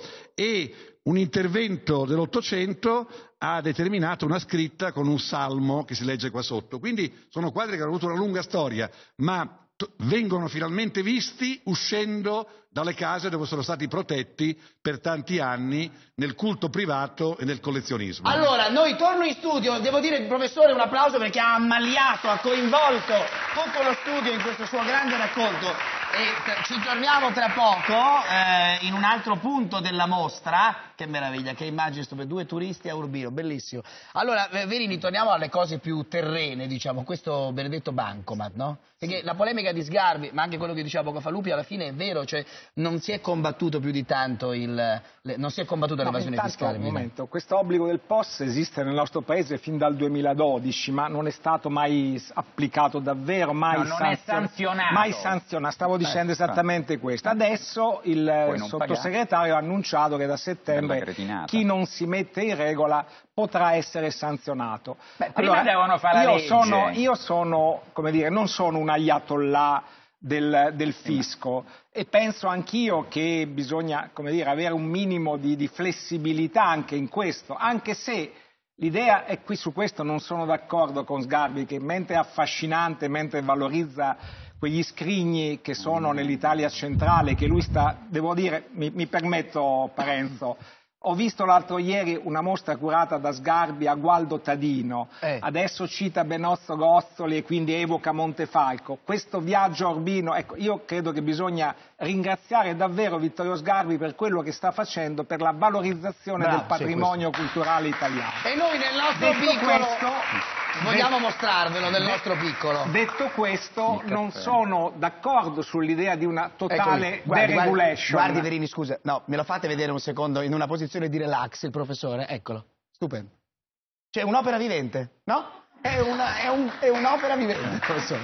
Allora, prego, Verini, poi No, torniamo da non sono- spalle, vedi? Eh? No, no, Invece non sono d'accordo sull'idea che bisogna andare verso una totale deregulation, ecco, pur non essendo un ayatollah del fisco, perché intanto non è vero che uno Stato che controlla è uno Stato fascista, perché questi controlli, come si dice, ce li chiede l'Europa, in molti paesi No, però europei. cultural- diciamo, culturalmente ha molti- ragione Sgarbi che ha un'impostazione Sì, liberale però- all'americana. Però, aggiu- sì, però se in qualsiasi Starbucks a New York tu paghi col bancomat, non è che siamo in paesi, non è- in paesi- in Sì. paesi non evoluti. Finisco per dire che quindi senza eh, esagerare con le regole, senza fare le dovute eccezioni, per esempio la CGA di Mestre in queste ore dice ma come si fa a far avere il POS al dipendente della piccola azienda di eh, elettricista che va in casa a riparare? Capisco, quindi con la necessaria flessibilità, ma l'idea di rendere un po' più trasparente, un po' far emergere il sommerso, Sì, ma non far è, emergere non il so se nero, ha finito, non è anche, così. Ho finito, finisco Prego, subito. scusi. Anche con questi sistemi io la vedo come un fatto, come dire, naturale e che prima, al quale prima o poi bisognerà Sì, sì, abituare. L'esempio di Starbucks effettivamente ci sta. Blasoni, sì. pressione fiscale 42,5%, pressione fiscale reale 48,8%. Sono dati rilevantissimi che ci consegnano un paese, diciamolo, tra quelli più tassati al mondo. In Germania la pressione è intorno al 36, in Inghilterra 33, in Spagna 30. Abbiamo provato a calcolare con il nostro centro studi quanto pagherebbero di meno gli italiani se pagassero con le aliquote dei tedeschi, degli inglesi o degli spagnoli. Sono 90, 140 e 196 miliardi rispettivamente. Io da- lo dico da imprenditore, c'è un report annuale che si chiama Doing Business che stabilisce per esempio la total tax rate, la pressione fiscale complessiva sugli imprenditori. Ci assegna il 62%, in Germania il 48%, in Inghilterra il 30%. Usciamo dai numeri. La misura sul post non risolve niente perché il tema vero è l'emissione o meno della fattura. Se l'artigiano ti dice paghi in nero e non paghi l'IVA, decidi se farlo o meno e hai possibilità di sanzione chiedendo la fattura. Il tema dell'utilizzo o meno del post mi sembra abbia due aspetti. Uno culturale. In Italia usiamo meno che in altri paesi la moneta elettronica, ma usiamo meno anche la carta di credito. Pensate questo, le transazioni online l'anno scorso hanno riguardato solo il 29% degli italiani, l'83% degli inglesi. E poi c'è lo Stato occhiuto, orwelliano, che in realtà non vuole solo combattere l'evasione, vuole tracciare il pagamento, vuole sapere come spendi i tuoi denari. Questo un po' mi spaventa. Voglio citare solo una cosa. C'è... La spaventa perché? Perché, come diceva Sgarbi, uno spaventa stato perché non mi fido dello Stato, perché penso che debba ridurre il suo perimetro, perché la tassazione è eccessiva, perché ci sono gabelle su gabelle su gabelle. Oggi in Italia l'hanno studiato, servono 240 ore a un medio imprenditore, a un piccolo artigiano solo per pagare le tasse. Faccio una citazione conclusiva perché è divertente. Thiel, il fondatore di PayPal, lo strumento di pagamento su internet, ci dice una cosa carina. Negli anni 70 ci avevano promesso le macchine volanti, le macchine volanti non sono arrivate, è arrivato internet in, in compenso, vastissimo. Beh, le macchine volanti sarebbero state composte di atomi e lo Stato avrebbe potuto regolamentarle, i byte di internet invece sono meno regolamentabili e internet è cresciuto. Cosa vuol dire con una forzatura? Che quando c'è troppa regolamentazione, quando c'è troppo Stato, l'economia rallenta. Altro è combattere l'evasione, ma l'evasione si combatte non obbligando a fa avere il post per il caffè, che mi sembra una sciocchezza. Sgarbi avrebbe usato un termine più forte. Sì, adesso non... Allora, ma per- Tra no, poco eh, lo rivediamo, quindi sicuramente... No, secondi. Cioè, secondo me è un errore. Io parto da un presupposto che Ministro uno- lei ad esempio il bancomat quanto lo usa? Cioè io usa più uso la spesso. moneta o... No, io uso spesso il banco. Il problema è esattamente questo. F- Facciamo un discorso Eh. serio. Allora, il- quelle aliquote sono veramente criminali. Certo. Partiamo da questo presupposto. Quindi un problema fiscale in questo paese esiste. Anzi, è uno dei primi problemi, va bene? Però non scambiamo le due cose. Perché se io voglio andare in un qualunque diciamo, esercizio e voglio usare il bancomat, io, la mia libertà, essendo io anche liberale, posso usarlo. È come se io voglio la toilette, cioè nel senso che noi siamo in un mondo in cui queste cose qui non dobbiamo scambiare, perché altrimenti una questione fondamentale come il fisco la traduciamo, la decliniamo in una cosa diciamo, che invece è molto più di servizio. Allora non c'entra niente diciamo l'evasione fiscale, quello non c'entra nulla, però è chiaro che in uno Stato moderno usare meno moneta corrente anche per una questione di sicurezza È un tema eh, culturale, anche non per di una- obblighi. Ah, infatti non è un Certo. però il problema è che quindi ci sia un servizio che venga dia la possibilità a me che voglio pagare con il banco di, di pagare anche perché nessuno diciamo deve fare il commerciante perché gli ha chiesto il medico quindi quello lì diventa un servizio che deve essere Però, in ogni caso necessario ha ragione Blasoni. contemporaneamente Sì. contemporaneamente non parliamo di altro perché il problema centrale sono certo. quelle sono Ma in realtà esattamente C'è quelle una parte di Stato che vuole arrivare alla moneta elettronica su tutto, perché vuole il controllo. No, però è vero Allora, che c'è un tema. cultu- certo, però culturalmente, adesso torniamo poi subito da Sgarbi, è vero che mentre negli Stati Uniti qualunque cosa tu la paghi culturalmente con la tessera e non giri con le monete, da noi la Ma cosa muovi non è una legge, No, no, no, chiaro. Sgarbi, professore, torniamo alle opere d'arte. Abbiamo visto uno splendido pagare, Eh, capito? posso non pagare, Puoi non pagare se non prendono Certo, il ma banco. dato è chiaro che servizi non non vorrei creare, scusate un Non attimo, legge. calma, calma, me lo dicono anche da dietro. Allora, non vorrei creare un nesso tra il pagare e le opere che vedremo qui, eh, che ci riportano i famosi 30 denari, no? Quelli famosi che hanno fatto, come dire, la storia. Eh, vediamo un'opera straordinaria. Eh, professor Sgarbi, a lei la parola, prego, per questo... Stiamo vedendo, Sì. Dove è andata, professore? stiamo vedendo il San Sebastiano del Perugino, che se non erro il Perugino è uno dei nomi forse più importanti, più Eh, certo. Qui a. Palazzo Ducale è importante, è un pittore grande, non è un comprimario ed è il maestro di Raffaello e noi abbiamo datato quest'opera sconosciuta che ha un'altra versione in un museo, un grande museo, eh, al 1490 quando Raffaello aveva sette anni. Però già qui si vede questo paesaggio meraviglioso che io ho, ho ipotizzato fosse di Pinturicchio, un paesaggio lontano con i monti azzurri, con quella pittura nel dettaglio, con le piante dorate, questo riflesso di luce dell'alba, la speranza del cielo che c'è sul fondo e San Sebastiano in estasi, felice, perché anche se colpito peraltro da una sola trafitto da freccia, una freccia. da una freccia e anche quando sono più frecce, lui in qualche modo gode perché questa è la misura dell'estasi divina. E però è diventato negli anni il simbolo del mondo gay perché viene colpito dalle frecce e non soffre Ecco. e non muore. Ecco, Quindi scusa, professore. È una forma di masochismo. Ti voglio chiedere, ti voglio chiedere, anzi lo chiede Sento. Minzolini da studio, mi pare di aver capito questa domanda, perché eh, il San Sebastiano ha questa mutanda, cioè come dire, si vede un po' linguine quasi, no? Chiede Minzolini. Giusto, questa è No, la domanda. non l'ho chiesto. Lo dice lei prima.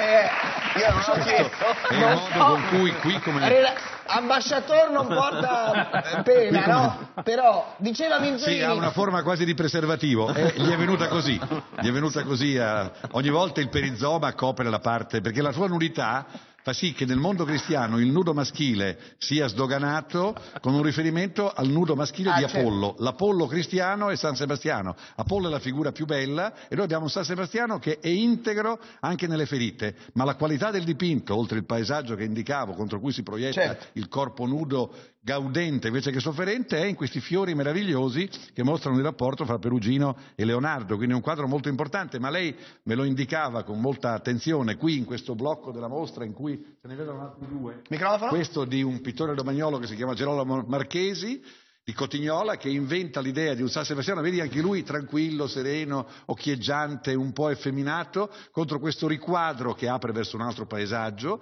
un paesaggio pre-raffaellesco, quando Raffaello comincia a farsi sentire mandando un dipinto a Bologna che è la Santa Cecilia. Qui si sente il momento in cui sta per arrivare Raffaello e c'è questo spazio prospettico per cui lui sta a una colonna eh, con un pavimento che ha sul fondo una finestra aperta contro un paesaggio e anche qui eh, San Sebastiano richiama la metafora delle figure che vengono particolarmente colpite nella politica del nostro tempo, quindi può essere A la chi potremmo associarlo? a quello che oggi viene più maltrattato rimane comunque Renzi, che risponde però con questa faccia, vedete, assolutamente tranquilla, da meno in pippo, dice ma fate quello che volete, tanto io sono Renzi. E questo invece... Ecco, giusto per bellissimo, ripor- di cui si conoscono quattro quadri, di cui due a Brisighella, che si chiama Bernardino da Tossignano, località vicino a Forlì, con un impianto ancora alla Piero della Francesca, molto geometrico, molto prospettico, Sant'Elena che tiene la croce, e un altro San Sebastiano, anche lui serenissimo, colpito dalle frecce, con un altro perizoma, però un po' più rigido, si vede che l'evoluzione da questa pittura, benché questo dipinto sia successivo, questo è un pittore con una mentalità più attardata, più legata a uno schema ehm, come dire, più arcaico e quando da questa immagine un pochino sommaria passi a quello di Perugino, ti accorgi che Perugino è andato molto avanti, è arrivato a rappresentare un corpo compiuto con una anatomia perfetta, insomma, quindi è bello quest'angolo in cui vedi tre tipi diversi negli stessi anni. Stupendo. Allora, spostatevi in una, veramente una mostra, io ve lo dico, eh, quelli, volevo dire. ve- andate a vederla, noi ve ne stiamo dando soltanto un'anticipazione, andate a vedere, passate una Il- bella il Rinascimento giornata segreto. a vedere questa mostra. Vedremo altre stanze, a dica Urbino. professore. Se poi vengono dall'11 al 14 cadono dentro la festa del Duca, di cui questa è l'imma- la, la- la mostra più rappresentativa. La festa del Duca offre spettacoli, offre incontri, offre sfilate, offre costumi d'epoca, però qui mostra quello che il Duca poteva possedere, da Federico a quelli che hanno vissuto questo palazzo. Questa è una collezione che poteva essere pertinente al palazzo e qui cominciano i miei amati ferraresi. Questo Allora, Antonio i ferraresi li vediamo tra pochissimo, così ti dedichiamo il giusto tempo. Il Ripre- rapporto con Padova. Allora, ah, ottimo, grazie sì. professore. Allora prendete una Perfetto. bella sedia, accomodatevi lì, due minuti e torniamo da voi. Minzolini, hai altre curiosità da chiedere No, al per professore? ora. Oltre al perizoma che ti aveva colpito. Allora, ci arriva, ci arriva intanto una notizia da parte della Lega Nord. La Lega Nord attacca Mattarella dà poi anche su questo, se Sgarbi ci sente, un piccolo commentino anche sull'attualità politica, glielo facciamo subito fare. Dice Grimoldi della Lega Nord, è vergognoso che il presidente Mattarella, nel ricordare la strage di Marcinelle, paragoni gli italiani che andavano a sgobbare in Belgio o in altri stati dove Ai lavoravano a testa bassa, dormendo in baracche e tuguri senza creare problemi. È vergognoso il paragone con gli immigrati richiedenti asilo che noi ospitiamo in alberghi con cellulare e connessioni internet per farli bighellonare nelle nostre, nelle nostre strade. Eh, Verini. Ma io guardi, quando sento queste cose della Lega ho sempre un po' una reazione di, di- di- non so come definirla, perché vede, ehm, quei- quelle persone che fuggono, io ho due figli ehm, e la lotteria della vita ha fatto nascere i miei figli in Italia, in Umbria. Ma se la lotteria della vita li avesse fatti nascere nell'Africa subsahariana con un'aspettativa di vita fino a 18 anni e se io sapessi, se fossi vivessi lì, che i miei figli non vivrebbero fino a 20 anni, che morirebbero di malaria, di fame, oppure peggio ancora di massacri, beh, io farei di tutto per buttarli in quel barcone e magari provare a fargli attraversare un tratto di mare. Questo per dire di che cosa parliamo. Dopodiché, se dobbiamo dire che l'Italia non ce la fa da sola a reggere questa roba, che l'Italia deve assolutamente fa- fare il quello che sta sta il facendo. paragone o no con gli italiani Ma che ma sono emigravano dei- in ma- ma i- Belgio? gli italiani che sono morti a Marsinelle, che andavano a lavorare nelle miniere e perché fuggivano dalla fame, dalla pellagra, dalla, non la disoccupazione, perché non c'era neanche l'occupazione, beh, quelli lì erano dei diseredati che cercavano, come dire, un minimo di, di sussistenza e di dignità, come molti di questi, come molti di questi che fuggono. Quindi la Lega, queste venature razziste, xenofobe, non- non- sono inaccettabili, Ma no, sono una battuta inaccettabili. soltanto, però c'è, c'è una differenza che è evidente invece. Cioè, i nostri che andavano a Marcinelle erano richiesti dai belgi. In quel momento c'era bisogno di manodopera e veniva richiesta manodopera italiana che arrivava legalmente. In questo caso invece assistiamo a una forzatura. È oggettivamente impossibile per noi, senza regolamentazione, accogliere un così alto numero di persone in condizioni di forte disoccupazione anche italiana dei nostri giovani. Il problema, no, vorrei finire solo scusa. rapidamente. Il problema non è quello punto. di essere o meno razzisti, però non voglio nemmeno avere paura di non apparire politically correct ogni volta che dico che esiste una differenza profonda. I nostri erano richiesti, questi stanno arrivando, soprattutto con le escamotage. statistiche dicono che anche noi ne abbiamo bisogno, cioè Boeri, Ma presidente esatto, ma dell'Inps, qualche se- io contesto fa l'affermazione sommessamente. dice che contesto- paghiamo le, le nostre pensioni sono pagate anche dagli Ma immigrati. scusate, ma, non, funziona, ma non funziona, esatto. questo- noi viviamo un sistema pensionistico, un criterio di ripartizione. Quello che stanno versando poi ci richiederanno.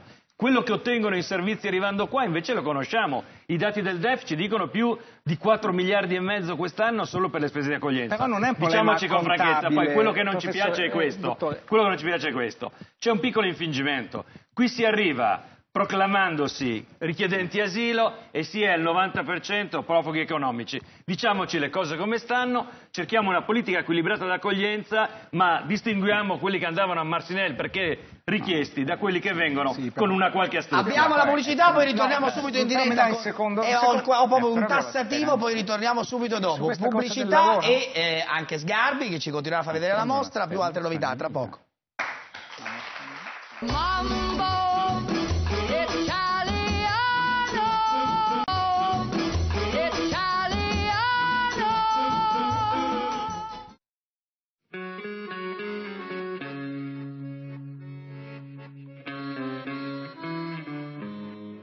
Sono capitate qui personalità della letteratura e personalità della politica. Qui si arriva e si riceve un servizio che è esclusivo. Tu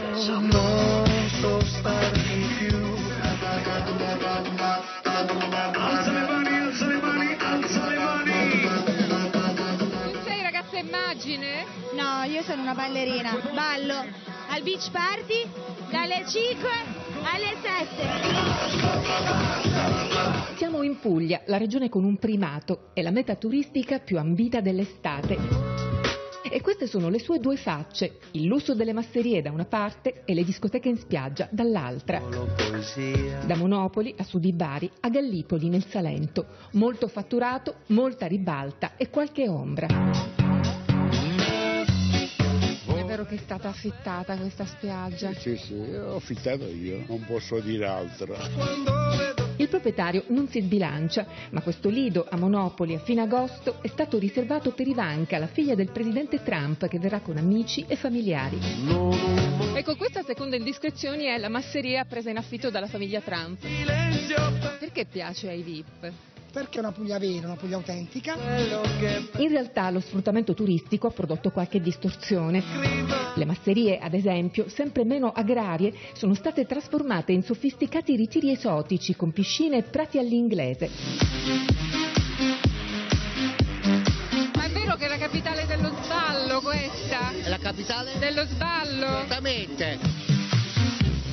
Gallipoli, 20.000 abitanti in inverno, arriva a ospitare 2 milioni di turisti. Ma ci si diverte molto? Sì, sì, sono dei posti, sono un sacco di, di locali qua intorno. Ci si droga?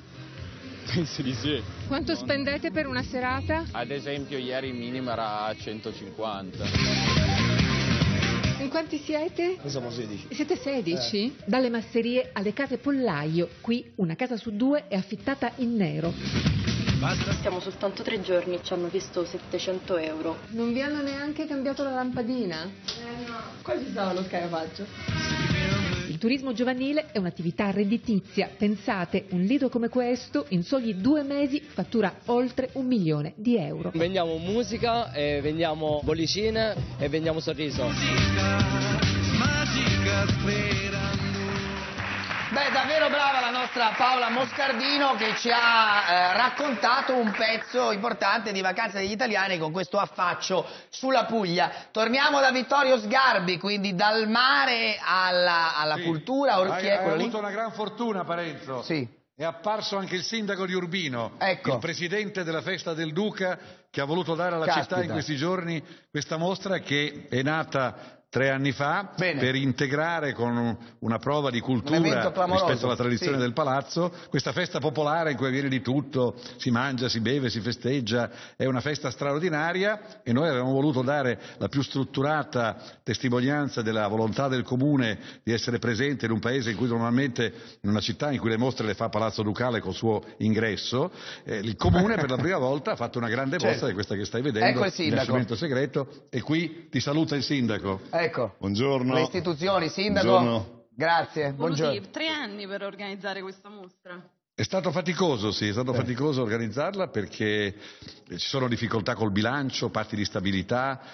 Il comune ha inteso in questo modo, tu prima lo ricordavi, stabilire quello che il Palazzo Ducale non ha voluto fare, cioè un biglietto unico con la bella città di Pesaro e la sua bellissima villa imperiale, i suoi musei. No, Quindi credo. questa mostra ha tre sedi, questa di Urbino, con prevalentemente le opere dell'Italia centrale, quella di Fano con la scultura in rapporto col mondo antico, Rinascimento vuol dire rinasce l'antichità, rinascimento, e Pesaro dove c'è la più bella pala d'altare di Bellini, grande pittore veneto, che ha determinato un'influenza per cui molti artisti, anche romagnoli, sembrano pittori veneti. Come- sì, ecco, Prima salutiamo allora anche sindaco. quindi Bene, bene, siamo- no, no, vediamo le opere ora così. Dimmi, Grazie, dimmi. sì, hai ragione. No, volevo salutare Eh, anche il sindaco che intanto si è defilato erano- qui c'è il benissimo. nucleo di Ferrara. Ecco. La mia amata Ferrara, Ferrara, certo. ha un pittore meraviglioso che ho riscoperto io anni fa che si chiama Antonio da Sim è Crevalcore. il simbolo della mostra. È il simbolo della mostra, si vede questa bellissima Madonna elegantissima con un San Giovanni Battista e dietro quest'altro santo che potrebbe essere San Giuseppe con questo bambino con, che sembra vedere, con quest'aria come fosse una scultura antica che si comincia a rimuovere, ma bellissimi dettagli dei tessuti della, diciamo, dei costumi dell'epoca e di questo tappeto meraviglioso piegato che divide il cielo la natura dalla parte sacra. Guarda questi bottoni straordinari. Nel vestiario questo pittore mostra di aver dialogato con il tuo eh, eh, padovano Mantegna. È, è un'opera Eh, certo. che nasce nello spirito di Padova. Poi Questo- con questo collo un po' longilineo, questo vale allungato, chi ci potrebbe ricordare? Beh, questa per essere un'opera ferrarese, perché a Ferrara c'è un gusto molto per la deformazione, per l'espressionismo, è una, una faccia molto classica che richiama il mondo toscano e quindi richiama la Boschi, insomma, l'idea di una bellezza Bo- femminile oggettiva. Qui invece passiamo da, E- da e quello vicino, il però non è 400, Lotti quello a vicino, Questo allora. pittore che apre... Qualche somiglianza. No, dico, quello vicino non è sì, Lotti, quello però. vicino hai detto? No, dico, quello vicino non è Lotti, Beh, questa però. è un'area un po' da Lotti, con la- Eh, un Lotti una vaga- invecchiato, non è Lotti, sì. E qui abbiamo invece l'inizio del Cinquecento con un pittore che guarda Giorgione e Perugino insieme che si chiama Ortolano. I ferraresi hanno dei nomi meravigliosi, Garofalo, Ortolano, Scarsellino, Mazzolino, quindi da Ortolano, questo bel paesaggio puro, vai a Mazzolino che fa questa composizione classica che richiama un po' i grandi artisti tedeschi come Dürer. Anche Mazzolino è un pittore raffinatissimo. Quando viene in Italia Burkhard, nel suo viaggio in Italia, il Cicerone dice i dipinti di Mazzolino nella Galleria Borghese nei musei di Roma si vedono splendere in distanza perché sono come pietre dure. Vedi che c'è come un effetto di intarsio di pietre dure. E qui hai la luce meravigliosa di Dosso Dossi, pittore grande come Raffaello. Caspita. Guarda questo paesaggio incandescente, infuocato e Santa Paola. Questo tra l'altro è un dipinto bellissimo di questo pittore nella sua maturità, poco dopo la morte di Raffaello, di cui lui è stato in qualche modo amico, proprietà del finanziere Micheli, che ha una collezione molto importante e ci sono... Ecco, ti scusami, dicevo, professore, perché da poi la della chiede. Minzolini come mai c'è questo soltanto il piede è tutta coperta, ma si vede, chiede Menzolini, soltanto un piede, quasi come dire, no? Eh, non so, come, come Beh, diceva è, è- è una curiosità pedofila. È eccitato dal curiosità. Eh? È una curiosità pedofila. In realtà il pittore deve dare il senso dello sviluppo del corpo, quindi lei sta come slanciandosi, qui indica la lettura come se però dovesse cominciare a incedere. C'è un piede con la gamba retrostante e l'altro avanzante, ma il Dettaglio motivo è semplicemente bravo, di cioè. armonia compositiva rispetto alla forza del corpo, no? che è un corpo plastico. Allora, D'altra pubblic- parte questo pittore genera un pittore sconosciuto che si chiama Amico Friulano. Allora, scusami professore, Dosso ho la Rossi, pubblicità che è obbligatoria, torniamo tra pochissimo, No, rimani la pubblicità. Solo, chiudiamo con Ferrara, aspetta un attimo, chiudiamo con Garofalo, Eh. che è il pittore che più di tutti guarda a Ferrara, vedi com'è cambiata l'arte Sì. ferrarese da Crevalcore, guarda Raffaello, è un Raffaello ferrarese, Garofalo, Garofalo, Ortolano, Mazzolino, Scarsellino, nomi bellissimi per pittori di grande raffinatezza. Ottimo. Ora linea alla pubblicità, torniamo tra pochissimo, eh, rimanete con noi. Mambo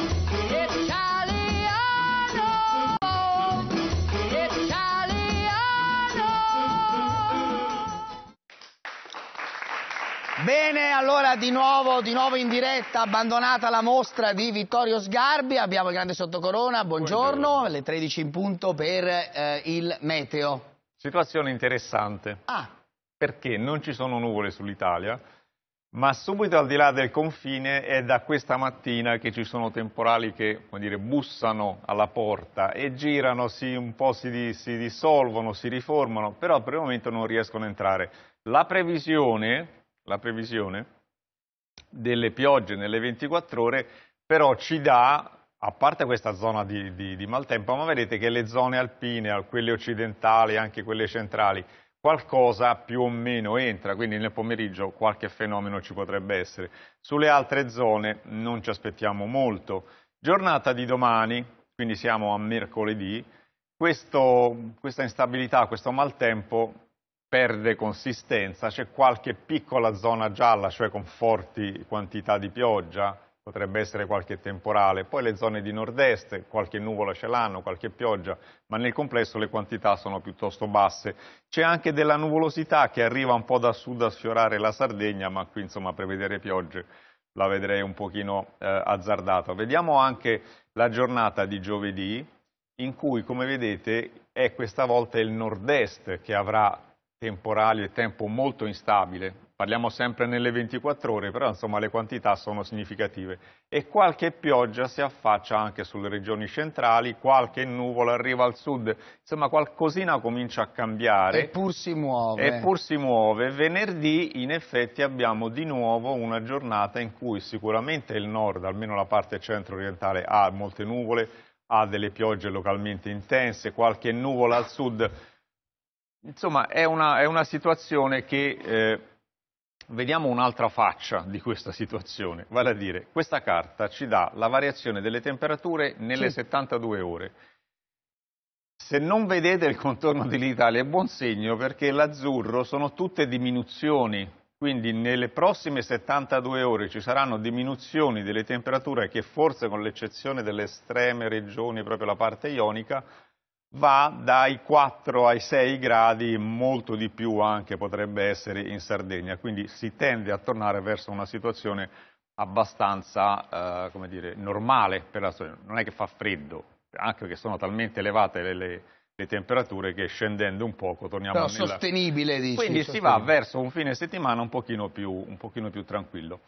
Eh, le foto di oggi eh, sono un po' per la serie eh, un- nuvole che sembrano qualcosa. Questa ce l'ha mandata Antonio dalla provincia di Torino, dice Eolo che sta soffiando queste nuvole. Ah, Se vi piace, insomma ci sta. Pensa un po', sì. Però insomma assomiglia un pochino. Chissà cosa venuto L'altra invece che ci manda Laura da Firenze c'è quest'ombra che sembra l'ombra di un gatto in un tramonto e invece è proprio un gatto. E invece Quindi non è- Pensavo una roccia, uno scoglio. Grazie a eh, Sottocorona. Momento del faccia a faccia con Walter Verini, Partito Democratico. E buongiorno Giorgio Sorial, non Sorial come viene ehm, chiamato costantemente dalla buongiorno. Dalla Buongiorno. presidentessa Boldrini, parlamentare del Movimento 5 Stelle, bresciano di origine egiziana, molto combattente. Allora io parleremo un po' di tutto, però eh, vorrei partire con voi, con lei in particolare, eh, apro da lei, da questa questione dei porti e da questo dibattito che c'è anche all'interno del governo tra Del Rio e eh, Minniti. Del provvedimento di Minniti, che cos'è che non vi piace? Visto che molte delle posizioni che poi Minniti ha trasformato in regolamenti, in, eh, in provvedimenti, sono cose che avete chiesto anche voi da tempo. Quindi cos'è che non vi piace? Sono cose che avevamo chiesto noi e poi sono state trasformate in un regolamento che però purtroppo non è stato firmato da nessuno. Cioè se il ministro dell'interno italiano non ha la credibilità per farsi firmare un, eh, un- un regolamento per la condotta delle ONG nel Mediterraneo perché rispettino le regole del Mediterraneo e perché rispettino le regole che il paese si vuole con cui si vorrebbe adottare il paese per evitare le stragi che continuano a esserci e per evitare questa crisi emergenziale sull'immigrazione, il ministro dell'interno non ha la forza, non ha avuto la forza per farselo firmare, per, per Beh, che farselo firmare. la pistola alla tempia però. Sì, ma allora si prendono altre eh, soluzioni, altrimenti si, si fa un qualcosa. Ma a lei sembra normale che il ministro dell'interno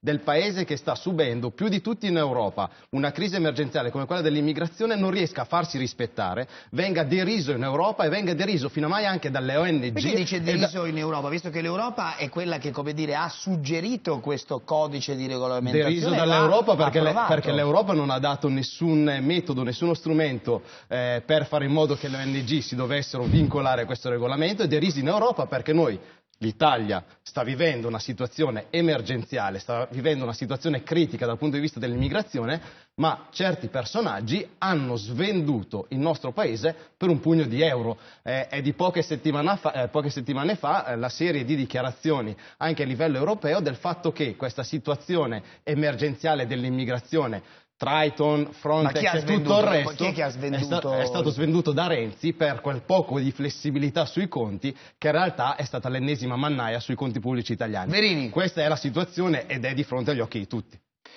Beh, è normale che l'opposizione Non- diciamo, sì, faccia no, ma certo che è esatto. normale, però mm, non è normale né è giusto, eh, come dire, falsare la realtà dei fatti, perché l'idea che il ministro degli interni Minniti sia deriso in Europa è tutta nella testa di Sorial, perché anzi invece il lavoro di Minniti è molto rispettato e anche molto sostenuto di di dall'Europa. italiani, eh. Parlo di questa parte che riguarda la sottoscrizione del codice. Non è vero che è stato sottoscritto da nessuno, lo hanno sottoscritto tre ONG importanti, tra cui anche Save the Children. Si sta prestando a sottoscriverlo un'altra ONG di grande peso internazionale. Ci sono delle, delle una francese. Ah, ma tre ONG Ci- su ci centinaia di sono- ONG nel no, parlo delle, Mediterraneo, delle eh. nove che erano state convocate al Viminale. Cioè, Parliamo ca- di questo. calcoli anche la Poi, IU, la- io personalmente, io personalmente, io personalmente ritengo che eh, è una ferita quella che è ancora aperta nei confronti di Medici Senza Frontiere, un'associazione che io eh, stimo, che tutti stimiamo per il lavoro che ha sempre fatto. Aggiungo due cose però. La prima, secondo me è interesse anche delle ONG cooperare sia con la eh, sottoscrizione del codice, sia anche in altre forme per, dire, smascherare quelle poche, ma ci sono ONG che usano la loro credibilità, la loro sigla per fare degli sporchi traffici. Non mi riferisco ovviamente a Medici Senza Però Frontiere. dice questo regolamento aiuta a fare Può chiarezza aiutare, sarebbe importante. in perché- una terra di nessuno, perché- no. Esattamente, Eh. ma perché è una legge nella quale gli interessi degli scafisti e anche qualche collusione, come documentano alcune procure e come documentano i fatti, è interesse delle ONG che svolgono un ruolo fondamentale farlo venire allo scoperto. Meno male che lo ammettete però ora cosa- che ci sono delle Sì, collusioni, no, la perché lei si, ricorda, cosa- lei si ricorda che noi abbiamo denunciato per primi Però la vero, situazione dei taxi, delle ONG, atto, abbiamo ricevuto degli attacchi atto, da parte del Partito? Democratico e da parte perché? di tutti, nonostante atto. abbiamo utilizzato delle parole che erano scritte nere su bianco su documenti della Sì, Procura e siamo stati attaccati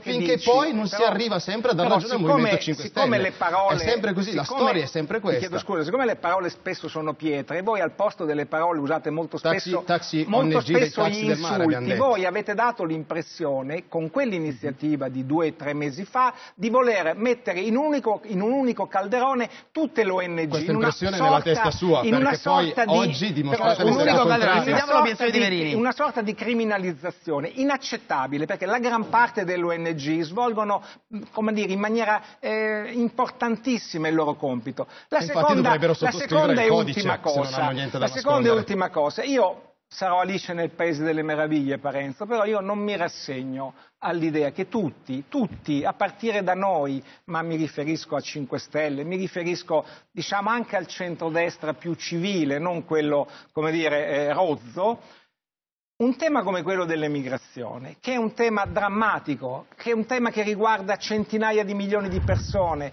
che non, durerà, non finirà adesso, durerà vent'anni, dove c'è una insensibilità dell'Europa, dove non ci sono ricette. Bene, su un tema come questo, io vorrei davvero che si de- decidesse una moratoria di propaganda. Di tutti. Sa, la vedo difficile visto che, si che- vedo, che siamo eh, in perenne però- campagna elettorale. vede- visto che ci però sono fammi- delle responsabilità fammi perché finire, hanno avuto il fammi semestre finire, europeo e non hanno fatto cortesia, niente. fammi il ministro finire, dell'interno è stato fammi- Alfano lasciamo finire, che fammi oggi è finire. è stato il peggiore in assoluto Ora il Minniti non sta sappiamo, facendo vedo che niente purtroppo le responsabilità quello- bisogna vabbè, chiar- eh, diciamo, chiarirle l'opposizione Signori, fa se l'opposizione. no facciamo quello che ipocrisia sto da per mattina a sera Soria, non fare il provocatore come ti capita sempre, no, eh, ipocrisia non fare il questa. Sempre dice provocatore. Lo conosco, lo conosco, Che lo conosco. Come dire, eh, diciamo, alza Non- spesso non i avete- toni, insomma. Dimmi una ecco. cosa, non avete, non avete responsabilità. Allora io il PD penso non ha responsabilità cosa. nella situazione Senti, per dell'immigrazione. te, senti, però diceva fare- io sto parlando di una Niente, cosa non ci seria, sono non di responsabilità. propaganda. Guarda, so e mi molto bene che è conto- serio, lo rendo- vediamo no. tutti i giorni che è serio. No, però Verini diceva, lo diceva vediamo, cosa Io sto interessante. dicendo bisogna una cosa. Non si possono criminalizzare Ah, le organizzazioni non governative che in questi anni si sono anche sostituite a quello che è l'intervento della Posso- Guardia Costiera aiutando. Questo è il primo un aspetto. elemento. Io- e il secondo che su un tema come questo ci vorrebbe di uno più, spirito di più, nazionale. Siccome Vorrebbe credibilità. l'Europa, siccome, sì, ma abbi Siccome l'Europa- abbi pazienza, abbi pazienza. Siccome l'Europa? Eh, siccome l'Europa sta facendo da sempre troppi orecchie eh, da mercanti, da mercanti, allora bisognerebbe per esempio che noi che come dire, apparteniamo alla famiglia chiamata socialismo europeo, eh, Berlusconi che appartiene alla famiglia del Partito Popolare Europeo, loro che appartengono a varie famiglie ma hanno, hanno diversi collegamenti anche loro No, i- una i- famiglia con qualche, sola, eh, sì, oneste, dove ci sono anche alcuni e- xenofobi, cerca- e che ma non importa, paese. bisognerebbe che, che ognuno, che ognuno lavorasse per convincere l'Europa in tutti i paesi, non ad alzare i muri, ma aiutare chi è che sta in frontiera, chi è che sta in trincea, perché l'Italia se soffre questo problema non è per insipienza, ma è per il fatto che siamo lì, siamo, Sentiamo- siamo nel Mediterraneo, Chiaro, a sentiamo Di differenza di altri Battista che ha paesi. detto su eh, Alfano, eh, è campagna elettorale, vabbè, c'è per tutti, vediamo. C'è Alfano che cerca eh, una sistemazione in ogni situazione. Occhio che vi citofono a casa e dice: Se avete una poltrona per me, state attenti. Alfano è così, occhio.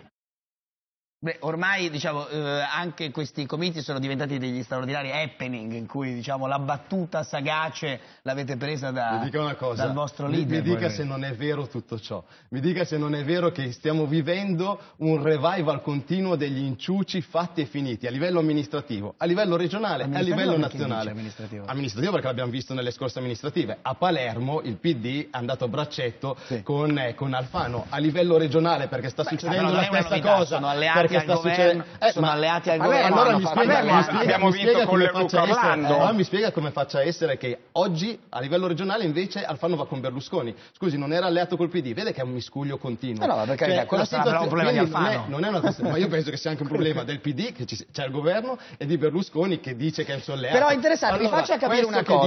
dice. Alessandro è verissimo. Noi stiamo vivendo e rivivendo lo scambio delle poltrone per mantenere le posizioni. Allora, su Alfano una battuta. Alfano era il ministro degli interni con Renzi e non ha fatto niente dal punto di vista della eh, situazione dell'immigrazione, pur essendo siciliano, pur sapendo molto bene lui la situazione dei porti esteri, eh. siciliani e quello che c'è per esempio ad Augusta e non ha fatto niente. Ora sta agli esteri e agli esteri io non ho visto nessun successo del signor Alfano a livello degli esteri se non quello di qualche video andare in giro a parlare con gli altri ministeri, de- ministri degli esteri e non riuscire nemmeno a comunicare con loro. E siamo in questa situazione, abbiamo un governo che è fatto di ministri di questa natura e poi si dice ah ma bisogna collaborare, ah ma il Movimento gli 5 accordi con la Stelle dovrebbe darci una mano e roba di questo genere. Libia Il Movimento 5 li ha Stelle Minniti, no? Movimento 5 Stelle quando fa L'accordo con la quando- Libia l'ha fatto Minniti, no? Quale accordo con la Libia? C'è un accordo col governo libico, no? Sì, e Macron cosa ha fatto? Beh, cosa ha fatto? Ha ricevuto anche lui i due contendenti della Libia, certo. Ma il governo italiano non è che Il governo cercando- si sta italiano, il governo italiano, il governo italiano è stato preso in giro sulla questione libica. Cioè, se il come- governo italiano, signor Parenzo, oggi viene preso No, ma non deve dire a me, sistematicamente lo deve dire a chi si occupa. viene preso che- sistematicamente in giro perché sulla questione libica dove noi avremmo potuto avere un, una- un grosso Ma lei fosse un grosso ministro degli approccio vi faccia posto- finire vi lei fosse finire solo su di questo Minniti, ma vi lei capì, finire e le dico, e le dico anche Una cosa cosa dico anche Eh. cosa faremmo. Innanzitutto sulla questione libica dove il governo italiano e l'Italia avrebbe potuto giocare un ruolo fondamentale ci siamo fatti prendere in giro dai cugini francesi dagli amici Vabbè, di Renzi questo ci Eh, e ci ha preso in giro. cosa avrebbe dovuto fare? Lei in cosa questo, in questo fatto, momento là? in Libia ci sono due entità completamente parallele e diverse. Serrai da una parte Serrai da una parte e il generale Haftar, Haftar come lei dall'altra, ben sa, e dall'altra. Che avrebbe fatto Soria al ministro degli interni? Perché non è stato il ministro degli interni italiano o è, eh, degli esteri italiano a convocare entrambe le parti e fare quello che ha fatto Macron? Perché ci siamo dovuti far fregare il protagonismo e la situazione su un territorio importante per noi come quello avrebbe libico, anche per questioni, anche per questioni economiche, lo- solo anche per questioni io economiche. non mi faccia Allora, telegrafico perché ho la pubblicità. su Non, questo. perché ci continuiamo a essere fregati dai francesi eh, su tutto, sulla Libia, sulle nostre aziende in Francia e- fatto anche- sulle nostre magari Siamo i fatto- blu dell'ONU. Tutto il resto sono parole di Verini, fatto prego. qualcosa alla Francia, magari il problema è che era solo propaganda, anche quella, anche quella di Macron. Io sto dicendo una cosa, io non esalto il lavoro dei governi, anzi ci sono stati fatti Perché cose buone niente. e anche limiti, ma io ho paura. Se andaste al Ministero degli Esteri Sì. voi, voi siete quelli che addirittura scambiate il Cile col Venezuela guardi, e delle- Austerlitz con delle- Auschwitz. delle- delle situazioni del genere possono succedere, ne avete fatte di peggio e avete rubato, Pubblicità. Me- meglio sbagliare una città che rubare dare soldi alle banche.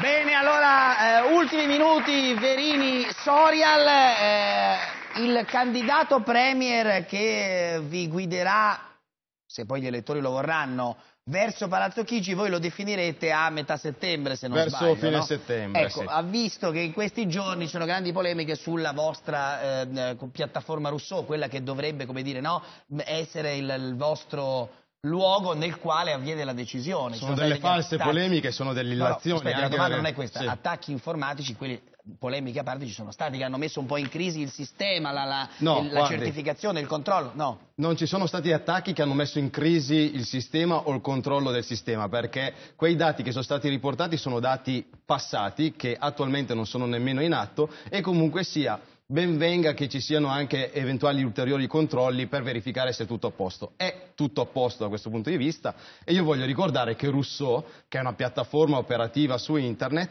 è il primo esempio mondiale di come i cittadini da casa, senza pagare 2 euro per andare a votare o senza essere collegati direttamente al partito, possono fare delle scelte politiche importanti, possono studiare No, e cosa, comprendere Matteo le proposte di legge e possono, mi faccio solo finire, e possono anche in questa maniera incidere direttamente sulla politica senza fare in modo che siano sempre i soliti nomi e cognomi in Italia, è da vent'anni a questa parte, a decidere le sorti domanda, del paese italiano. una domanda diretta. Questa idea molto interessante e innovativa che voi avete portato, per cui chiunque può decidere e proporre delle leggi, non vi lascia anche molto in balia, come dire, del, del mainstream, del sentire comune? Cioè l'idea del governo è dire noi abbiamo una posizione e riteniamo che questa sia la cosa. Lasciare sempre il voto su qualunque cosa, per cui su qualunque tema decide, decide chi ci guarda da casa, decide... è in realtà una falsa democrazia, o no? No, è la democrazia. La democrazia vuol dire il governo del popolo. Se il popolo è chiamato semplicemente a votare un, un nome, neanche più un nome, Se ma a votare una se le lista. dicessero una votare- morte, fa- faccia, faccia finire, faccia finire, faccia finire? Parenzo.